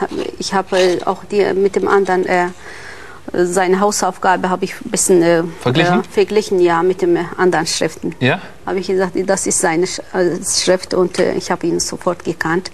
Natürlich habe ich mich sehr gefreut, dass er am Leben ist, aber ähm, ich machte mir gleich Sorgen, wie er überhaupt leben sollte dort. Ja. Frau Konert, Sie sind Hausfrau. Sie haben sich immer um die Kinder gekümmert. Das ja, war Ihre ja. persönliche Entscheidung. Ja. Wo haben Sie die Kraft hergenommen, sich da so für Ihren Sohn einzusetzen? Die Kraft habe ich mir selbst gegeben, echt jetzt. Äh, ich habe gesagt, ich habe die Kinder geboren. Ich, hab, ich muss die Kinder auch großziehen und ich muss meine Kinder hinterher laufen. Ich muss für meine Kinder kämpfen, das mhm. kann ich nicht. Mhm. Also ohne Kämpfen lasse ich meine Kinder niemals. Mhm. Frau Konatz, haben Sie immer den Glauben gehabt, mein Sohn lebt, ich kriege ihn zurück? ja, wissen Sie, ich habe nur an meinem äh, Herzen gehört. Ja? Ich habe gesagt, er lebt, er wird, er wird irgendwann wieder zurückkommen. Habe ich mir immer gedacht. Haben Sie zwischendurch auch mal so geflucht und geschimpft? Wie konnte er sich nur da zu dieser Zeit nach Pakistan hinbewegen? Natürlich, Anfang an war ich sehr wütend und ich habe gesagt, wieso den falschen Ort? Er wollte immer Anfang an nach Hajj gehen, wo er 17 war. Ja. Habe ich gesagt, Murat, du bist so jung noch und du kannst noch viele, dein Leben viele Fehler machen. Mhm. Du sollst äh, reif genug sein, du musst alt genug sein, habe ich gesagt. Du sollst im Moment noch nicht Hajj machen. Mhm. Aber er hatte sich das im Kopf gesetzt. Damals wollte er unbedingt hin, weil seine Freundin ist auch nach Hajj gegangen ist damals. Mhm. mhm. Und äh, ich habe gesagt, lass dir mal Zeit, Murat. Mhm. Du bist nicht alt genug. Aber er wollte immer seine Religion kennenlernen, das wusste ich schon. Mhm. Murat, hat der Gedanke an die Mutter Ihnen auch irgendwie Stärke gegeben, an das Zuhause? Ich habe nie irgendetwas von meiner Mutter gehört, mhm. bis auf meinen ersten Besuch von meinem Anwalt. Ich durfte, ich habe nie Besuch gehabt. Ich habe nie Telefongespräche führen können. Und jahrelang habe ich auch nie einen Brief bekommen oder einen Brief schreiben können. Haben Sie, aber Sie haben doch Briefe geschrieben an Murat? Ja, ich habe insgesamt vier oder fünf Briefe. Aber wissen Sie, Herr Beckmann, äh, als unser deutscher Anwalt zu mir gesagt hat, ähm, Frau Kunert, Sie sollten endlich, endlich mal Briefe schreiben an Ihrem Sohn. Ich habe immer gesagt, Herr Docke, das kommt von mir nicht an, ans Herzen, dass ich ihm einen Brief schreibe. Er sagte zu mir, wieso nicht? Ich habe gesagt, wenn ich ihm jetzt Briefe schreibe, ja. die misshandeln die Briefe, ich habe solche Gefühle, habe ich zu ihm gesagt. Er hat gesagt, weiß ich nicht. Ich habe gesagt, nein, ich weiß es, aber ich möchte das nicht machen. Und ich möchte dann Murat kein weiches Herz dann dabei mhm. machen und ähm, damit er stark bleibt. Ich wollte ihm gar nicht schreiben. Und ähm, Fotos und so mit dem Brief ja. War ich sowieso nie einverstanden. Ich wusste ganz genau, wie die Soldaten mit den Briefen und Fotos da umgehen. Mhm. Also ich hatte so schlechtes Gewissen dabei mhm. gehabt. Deshalb wollte ich ihm, ich habe ihm schon mal geschrieben, aber ungern. Mhm. Er sollte mal wissen, habe ich gedacht, dass wir für ihn da sind und äh, mhm. dass ich für ihn kämpfe. Da habe ich gesagt, ich soll mal doch noch ein paar Briefe schreiben, aber ich habe wirklich ungern geschrieben. Wir wollen jetzt gleich mal weiterreden, Rabir, ja. darüber, was alles unternommen wurde, um Murat aus der Gefangenschaft rauszukriegen. Wir wollen unsere Runde ein bisschen erweitern. Nicht nur das persönliche Schicksal von Murat Konatz sorgte in den letzten Jahren für Schlagzeilen. Auch die Rolle der Geheimdienste und der Regierung geriet immer wieder in die Kritik. Wer fühlte sich überhaupt zuständig für den in Deutschland geborenen Türken Murat Kurnaz? Was wurde unternommen, um seine Gefangenschaft in Guantanamo zu beenden? Und hätte er tatsächlich bereits im Jahr 2002 schon freikommen können? Eine Frage, die viele beschäftigt und ich freue mich, dass wir hier eine Runde haben, die das möglicherweise ganz profund erörtern kann. Ich freue mich, äh, dass Siegfried Kauder da ist. Herr Kauder, herzlich willkommen, Vorsitzender des BND-Untersuchungsausschusses im Deutschen Bundestag, der den Fall Kurnatz jetzt bald untersuchen wird. Bernhard Docke ist da, der Rechtsanwalt, der sich sehr engagiert hat, der Rechtsanwalt von Monat, äh, Kurnatz. Und herzlich willkommen auch Hans Leindecker. Freut mich sehr. Ähm, Gehen wir mal zurück, Herr Leindecker. Wir haben eben darüber gesprochen, über die Nachrichtendienste in der angespannten Situation 2002. Also wenige Wochen, wenige Monate nach dem 11.09. Was hat die möglicherweise dazu veranlasst, ihn zu verdächtigen? Also wenn wir heute drauf blicken, muss man sagen, man ist fassungslos. 2006 erscheint das, was er erlebt hat, unvorstellbar. Es war 2002 ein bisschen eine andere Situation. 2002 der Anschlag lag wenige Monate zurück. Und die, die in den Sicherheitsbehörden waren, gingen, so sagen sie jedenfalls, nicht davon aus, dass Guantanamo Bestand haben würde, sondern irgendeine relativ kurzfristige Lösung. Angeblich würde sich danach etwas anderes ergeben. Und in mhm. dieser Situation schickte man dann zwei Beamte des BND und einen des Bundesamtes für Verfassungsschutz nach Guantanamo, weil man ventilieren wollte, so jedenfalls steht es in den Unterlagen, ob, ob, es in Bremen eine Zelle gab, ob es eine Verbindung zu der Hamburger Zelle der Todespiloten gab. Also aus Sicht der Sicherheitsbehörden die Frage, gibt es was zu schützen und er kann uns dabei möglicherweise helfen. Das Komische aber war, dass doch zu dem Zeitpunkt, 2002, Herr Leindecker, schon relativ schnell klar war, er gehört gar nicht zu dem Kreis dazu. Ich meine, Sie haben es eben angesprochen, es ist ja in vielen Magazinen auch schon nachzulesen gewesen. Da heißt es im Protokoll der beiden Bundesnachrichtendienstler, Murat, die Sie befragt haben, Es ist nach Analyse der Befragungsergebnisse davon auszugehen, dass Kornatz aufgrund seiner ausgeprägten Naivität, Unreife in die jetzige Situation hineingeschlittert ist, beziehungsweise zum falschen Zeitpunkt am falschen Ort war. Und dann heißt es weiter, die Bitte des Leiters, der Befrager an die US-Seite, also an die Amerikaner, Konrads möglichst bald freizulassen, um ihn eventuell in Deutschland nutzen zu können, darüber haben wir eben gesprochen zusammen, wurde offensichtlich positiv aufgenommen. Noch am letzten Tag wurde mitgeteilt, dass die Vorentscheidung gefallen sei, Konrads bis November, reden über 2002, nach Deutschland zurückzubringen. Und dann gibt es noch eine interessante Formulierung, das ist die Stellungnahme sozusagen das Ergebnis, mit an Sicherheit grenzender Wahrscheinlichkeit besitzt Kurnatz bei einer Freilassung kein Gefährdungspotenzial hinsichtlich, hinsichtlich deutscher, amerikanischer und israelischer Sicherheitsinteressen. Herr Kauder, Mensch, nach dieser Beurteilung, warum musste denn Murat Kurnatz noch weitere vier Jahre da in Guantanamo sitzen? Wenn ich es wüsste, würde ich es Ihnen auch beantworten. Ja. Ich habe von Ihnen jetzt Zitate gehört, die ich als Ausschussvorsitzender so nicht kenne, was aber auch nicht verwunderlich ist. Wir haben vom Deutschen Bundestag einen Untersuchungsauftrag bekommen, den wir in Komplexen abarbeiten. Im Augenblick, das wird noch bis zum Jahresende dauern, erkunden wir den Komplex El Masri. Ja. In dieser Woche sind weitere Beweisanträge eingegangen, denen wir nachzugehen haben. Ich bitte um Verständnis. Ich bin nicht Vorsitzender eines Gerichts. Ich bin kein Staatsanwalt, kein Polizeibeamter. Ich bin als Vorsitzender eines Untersuchungsausschusses auf das angewiesen, was insbesondere die Oppositionsfraktionen mir als Futter durch Beweisanträge liefern. Herr Leindecker, Sie kennen die Zitate. Die sind bekannt. Die sind im Umlauf. Das ist jetzt nichts Exklusives, was ich hier verlesen habe. Das muss man aber nicht. Äh, wie ist denn das zu deuten? Warum haben damals in der Runde im Bundeskanzleramt die Menschen beschlossen, wir wollen Konatz nicht. Also diese Zitate zeigen, dass 2002 schon einigen Leuten klar war, dass er nichts mit dem zu tun hat, ja. weshalb er angeblich festgenommen worden war. Vielleicht ging es ja auch nur um Kopfgeld bei der ganzen Geschichte. Aber als die drei dann zurückkamen von der Insel und ihr Ergebnis vortrugen, und insbesondere die Idee, ihn jetzt als V-Mann einzusetzen, da hat man der sogenannten Präsidentenlage gesagt, da sind die Präsidenten der Sicherheitsbehörden beisammen. Nein, das wollen wir nicht, das ist ein zu großes Risiko. Und man hat gesagt, wir haben aber doch Hinweise, dass der möglicherweise doch ganz andere Verbindungen hat. Und jetzt diese eine Vernehmung, reicht die wirklich aus, um das andere Bild zu machen? Und überdies, dann kam ein ganz wesentliches Argument, ist er zwar in Deutschland aufgewachsen, aber er ist Türke. Was haben wir eigentlich damit zu tun? Sollen die Türken versuchen, dieses zu lösen? Ich glaube, ungefähr in, diesem, in dieser Gemengelage befinden wir uns 2002. Ja, aber das ist doch eher so eine konsularische Frage. Er ist in Bremen aufgewachsen. Ja. Okay, er hat einen türkischen Pass, aber gehört hier zur deutschen Gemeinschaft doch ja. dazu. Sagen wir. Sagen wir. Und zu Recht. Ja, finde ich auch. Und zu Recht. Wollen wir nochmal diese Sitzung darstellen? Also BND-Chef August Hanning war da, ja. Geheimdienstkoordinator Ernst Urlau nehme ich an. Ja und dann der Kanzleramtsminister und heutige Außenminister Frank-Walter Steinmeier. Die haben das beschlossen.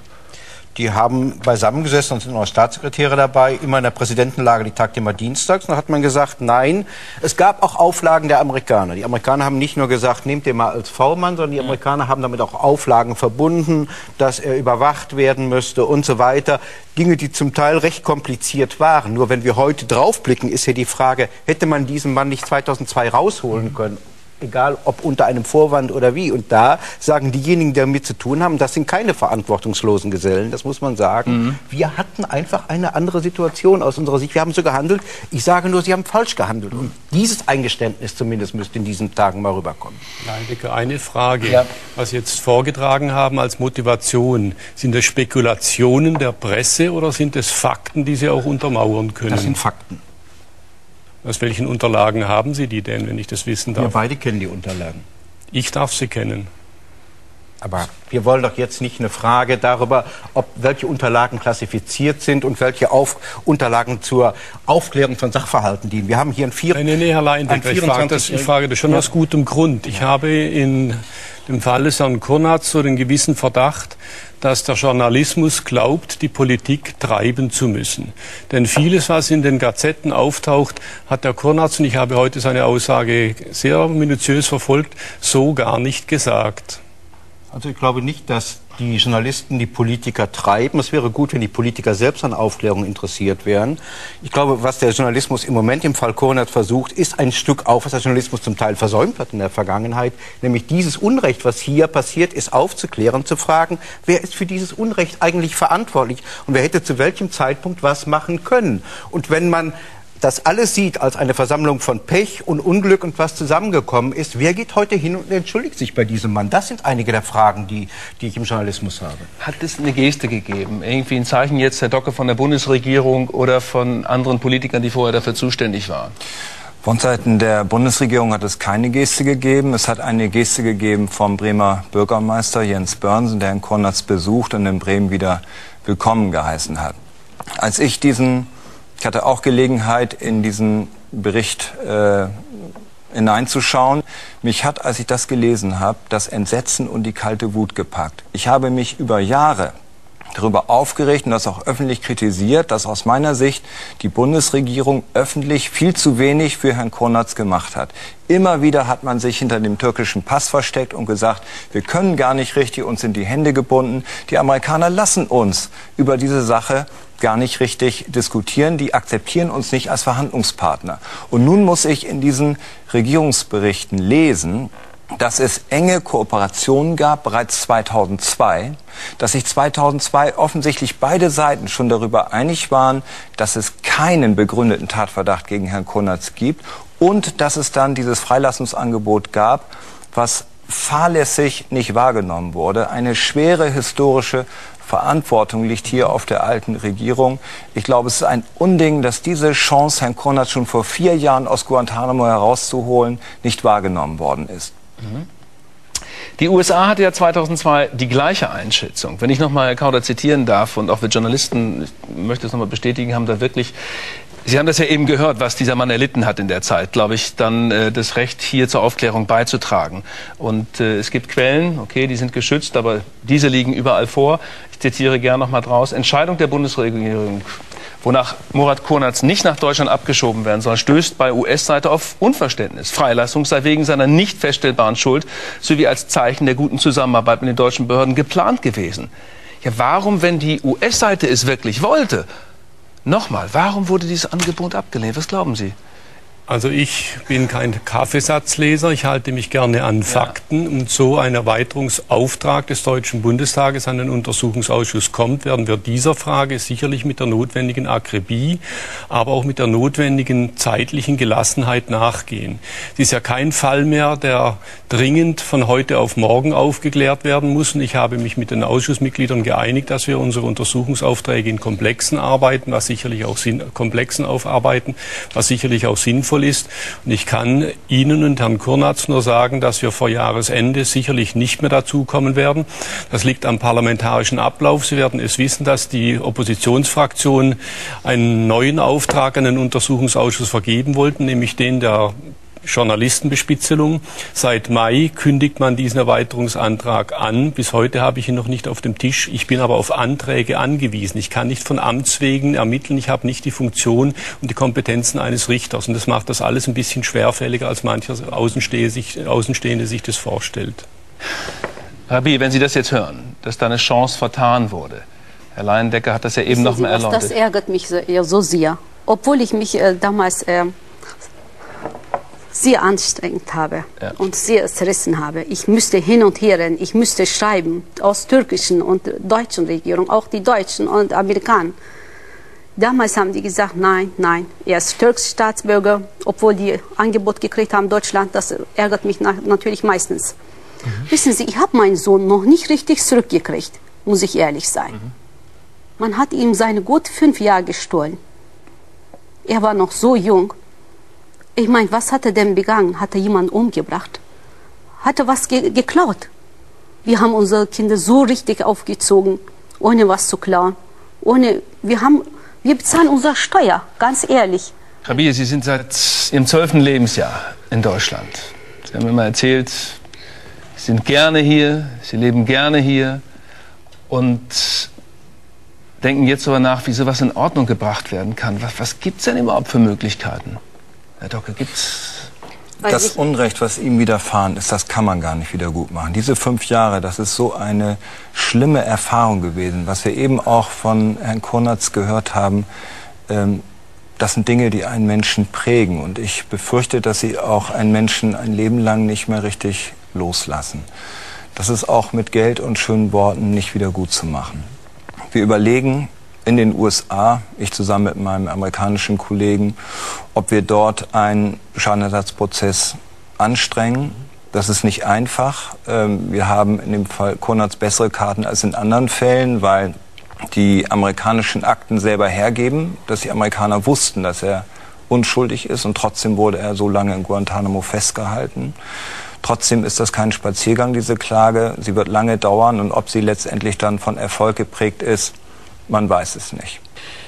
Herr Kauder, ich frage Sie jetzt nicht in Ihrer Rolle als äh, Vorsitzender des Untersuchungsausschusses, sondern als Mensch, wenn Sie das jetzt hören, dass da jemand wie Murat fünf Jahre lang in die Mühlen der Nachrichtendienste und dieser falschen Einschätzung gekommen ist, was empfinden Sie da? Ihnen sind fünf Jahre des Lebens geklaut worden. Sie werden es mir nicht übel nehmen, dass ich mich in meiner Rolle als Vorsitzender eines Untersuchungsausschusses auch in dieser Rolle bewegen werde. Wir sollten eines klarstellen. Ein Untersuchungsausschuss eines deutschen Parlaments ist kein Tribunal gegen amerikanische Behörden. Das würde unseren Auftrag übersteigen. Es hat also keinen Sinn zu fragen, wie ich menschlich dazu stehe. Das ist meine Verpflichtung, was die Amerikaner anbelangt, als Ausschussvorsitzender nicht. Da habe ich meine persönliche Meinung sicher dazu, die sich mit ihrer nahezu deckt. Guantanamo ist etwas Menschenrechtswidriges, aber das haben wir nicht zu befinden. Wir haben zu klären, und darauf hat der Kornat sicherlich einen Anspruch, warum der deutsche Staat sich nicht frühzeitig darum gekümmert hat. Aber dazu bin ich, und da bitte ich auch um Verständnis, zu sehr Jurist. Ich würde gerne den Sachverhalt aufklären und dann eine abschließende Meinung. Wären Sie gerne in so einem Moment einfach jetzt nur mal Mensch?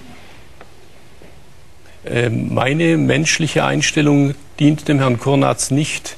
Ihm dient, was am Ende bei einer Untersuchung durch einen Untersuchungsausschuss herauskommt. Wie schwer fällt es Ihnen jetzt, diese Rolle beizubehalten? Es fällt mir überhaupt nicht schwer. Damit habe ich jahrzehntelange Übung als Jurist. Und es ist vielleicht auch gut, wenn jemand versucht, es objektiv abzuarbeiten und nicht für eine Seite Position ergreift, sich damit den Blick verstellt für Untersuchungsaufträge. Ich werde versuchen, das objektiv abzuarbeiten.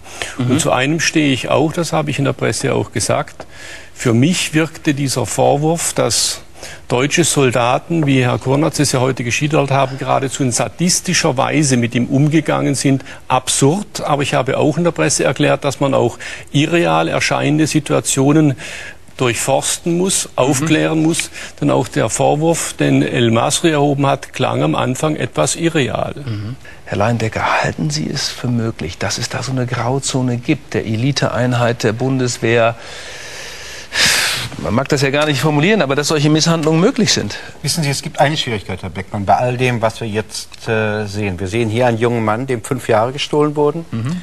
Und wenn wir sagen, wir zu Lüge nach dem allem, was mir hier zugefügt wurde, aber gleichwohl muss man versuchen, die Vorgänge, ganz egal, ob es um die beiden Soldaten, angeblichen deutschen Soldaten geht, oder auch um den zweiten Besuch des Beamten, vom, der angeblich vom Bundesamt für Verfassungsschutz ist, das muss man überprüfen. Und erst dann kann man zu einer Wertung kommen. Gleichwohl, es klingt wenn man sich das anhört, ungeheuerlich. Und es kann aber natürlich auch eine Kameraderie sein, dass irgendjemand dabei ist und fühlt sich bemüßigt, in so einem Augenblick auch noch den harten Mann zu spielen. Das würde aber darauf hindeuten, dass die ausgezeichnet ausgebildeten Soldaten der KSK in diesem Punkt nicht richtig ausgebildet wurden. Wenn sich einer zu sowas hätte hinreißen lassen, wäre es auch ein großer Skandal für die Bundeswehr. Ein übles Dienstvergehen, ja. das strafrechtlich verfolgt was, werden Was müsste. mich an der Sache nur sehr geärgert hat, war, kurz nachdem das Interview von Herrn Kurnas mit diesem Vorwurf auf dem Markt war, wurde quasi aus dem Bundesverteidigungsministerium offensichtlich heraus lanciert, über die Presse so eine Art Gegenbewegung eingeleitet, wachsende Zweifel an den Aussagen von Herrn Kornatz. Es wurde daran festgemacht, erstens, die KSK sei noch gar nicht in Afghanistan gewesen zu diesem Zeitpunkt und zweitens, das ist die hätten auch geklärt, dass es ganz andere so Uniformen, als Herr Kornatz beschrieben hat. Inzwischen wissen wir, dass beide Dinge doch so sind, wie Herr Kornatz gesagt hat. Lassen Sie uns mal über den zweiten Punkt reden. Die zweite Frage in Guantanamo, die zweite Befragung von Murat Konatz. Wir haben darüber geredet, April, Mai 2004. Murat sagt, es wäre der gleiche Mann dort gewesen, der schon zwei Jahre zuvor da war. Wäre das ein politischer Skandal, wenn die Bundesregierung den Kontrollausschuss da unvollständig informiert hätte, Herr Leindecker? Es wäre ein Skandal. Wir haben Berichte vorliegen, die zum Teil eingestuft sind, wie Herr Kauder eben noch mal gesagt hat, aber aus denen geht hervor, dass es jedenfalls 2004, und da geht es von April bis Oktober, wenn ich das richtig verstehe, das ist ungefähr der Zeitrahmen, dass es keinen Besuch eines Deutschen gegeben hat. Es hat eine dienstliche Befragung aller drei in Frage kommen gegeben. Alle drei haben erklärt, nein, sie seien nicht dort gewesen. Die Präsidenten sind befragt worden, man hat sich die Reisekostenanträge, man hat sich alles durchgeschaut. So, wenn nun doch einer der drei mhm. dort gewesen wäre, würde das zwei Dinge bedeuten. Zum einen, der Bericht ans Parlament wäre zumindest unvollständig gewesen, wenn nicht falsch. Und zum Zweiten hätte ein ja. Präsident einer Sicherheitsbehörde den Laden nicht im Griff und einer seiner Beamten, die dort waren, und immerhin handelt es sich um Referatsleiter und stellvertretenden Referatsleiter, hätte die Unwahrheit gesagt. Also das wäre eigentlich. Also auch die Möglichkeit, dass da einer auf eigene Faust hingefahren ist. Also das ist ja bei seinem Modell drin. Ich gehe einfach davon aus, dass ein deutscher Beamter, der dienstlich ja. erklärt, ich war dort nicht und der Präsident sagt, das ist völlig ausgeschlossen. Mhm dem muss ich auch ein Stück glauben. Also man kann es nicht einfach so verteilen, dass man sagt, jetzt gibt den Vorwurf und der Vorwurf muss stimmen. Aber wenn sich das herausstellen sollte, ich kann nicht verstehen, warum Herr Konatz irgendjemand beschuldigen sollte, den er gar nicht kennt. Also dass er irgendeine Person, irgendeinen deutschen Beamten so in Schwierigkeiten mhm. bringen würde durch seine Aussagen, das traue ich ihm keine Sekunde zu. Von daher ist es ein großes Rätsel und das muss geklärt werden und wenn es sein muss, am Ende auch dann mit einem Staatsanwalt und ich hoffe auch mit der Presse. Ich möchte Murat fragen. Murat, was sind Ihre Zukunftspläne? Ich möchte wieder ein Leben führen wie vorher. Ein ganz normales Leben. Ich möchte wieder arbeiten. Ich möchte wieder. Im Beruf als Schiffbauer? Wahrscheinlich. Und möchte auch wieder heiraten. Ich bin jetzt schon 24, möchte heiraten und eine eigene Familie haben. Ich bin damals schon verheiratet gewesen, nur mhm. wegen meiner Haft habe ich meine Frau verloren. Ich wusste davon nichts bis zu meiner Freilassung. Ich habe davon erst in Deutschland unterwegs erfahren. Moritz, Sie hatten die Hoffnung, sie kommt zurück und sie wäre noch da und hätte auf Sie gewartet. Ich habe nie gewusst, dass, äh, dass wir geschieden sind. Ich, ich habe davon nie erfahren. Morat, ist äh, Deutschland noch Ihre Heimat? Ich bin in Deutschland geboren und aufgewachsen. Ich habe. Ich unterscheide mich nicht von einem. Äh, ich unterscheide mich nicht von irgendjemand anders, der in Deutschland geboren ist und aufgewachsen ist. Ich bin hier zur Schule gegangen, ich bin hier aufgewachsen.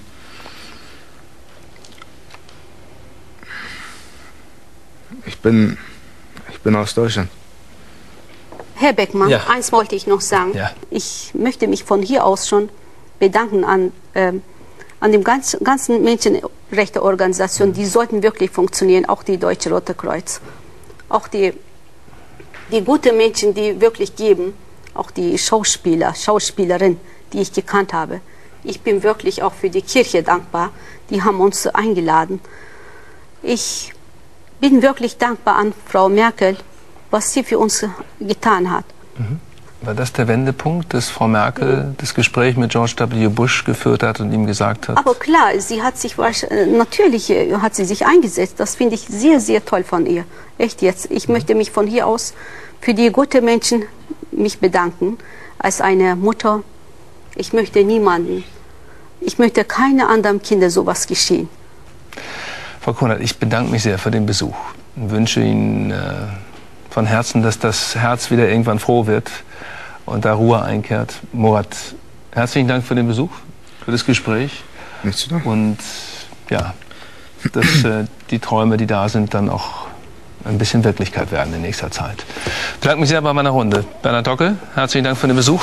Hans Leindecker, vielen Dank für die Erläuterung. Und Herr Kauder, ich bedanke mich sehr, dass Sie gekommen sind. Es gab einige, die haben abgesagt. Die wollten nicht kommen, Sie haben sich gestellt. Herzlichen Dank dafür. So, und ich wollte Ihnen sagen, nächste Woche, 22.45 Uhr, sind wir wieder da, wie immer nach den Tagesthemen. Würde mich freuen, wenn Sie dabei sind. Jetzt kommen Sie gut durch die Woche und jetzt kommen die Kolleginnen des Nachtmagazins mit den neuesten Nachrichten. Alles Gute, tschüss.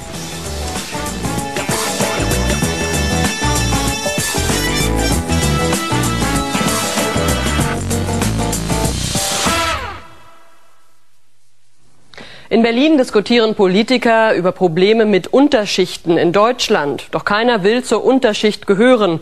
Mehr dazu gleich im Nachtmagazin. Manch einer weiß zu viel. Und er weiß zu wenig. Denn Venedig hat viele dunkle Kanäle. Einige Menschen sind sehr reich und mächtig geworden, weil sie Giftmüll entsorgen. Hermes. Reporting the arrival of Vizequestore Brunetti. Es wird einen Skandal geben, Brunetti. Warum machen Sie sich bloß solch eine Mühe? Das gehört zu meinem Beruf. Donna Leons, Endstation Venedig. Am Donnerstagabend im ersten. Die Verleihung des Deutschen Fernsehpreises 2006, präsentiert von Jörg Pilawa. Es ist der Abend der Besten. Erleben Sie Ihre Stars in dieser außergewöhnlichen Gala, live aus dem Kolosseum in Köln.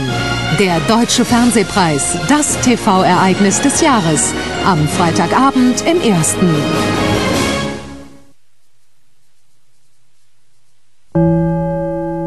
Hier ist das erste deutsche Fernsehen mit dem Nachtmagazin. Guten Abend, meine Damen und Herren. Herzlich willkommen zum Nachtmagazin. In Deutschland gibt es sechseinhalb Millionen Menschen, die Folgendes gemeinsam haben. Schulden, schwierige Familienverhältnisse und einen Hang zu autoritären politischen Verhältnissen.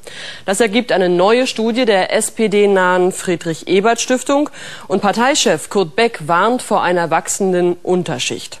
Das böse U-Wort wurde heute oft zum Unwort erklärt.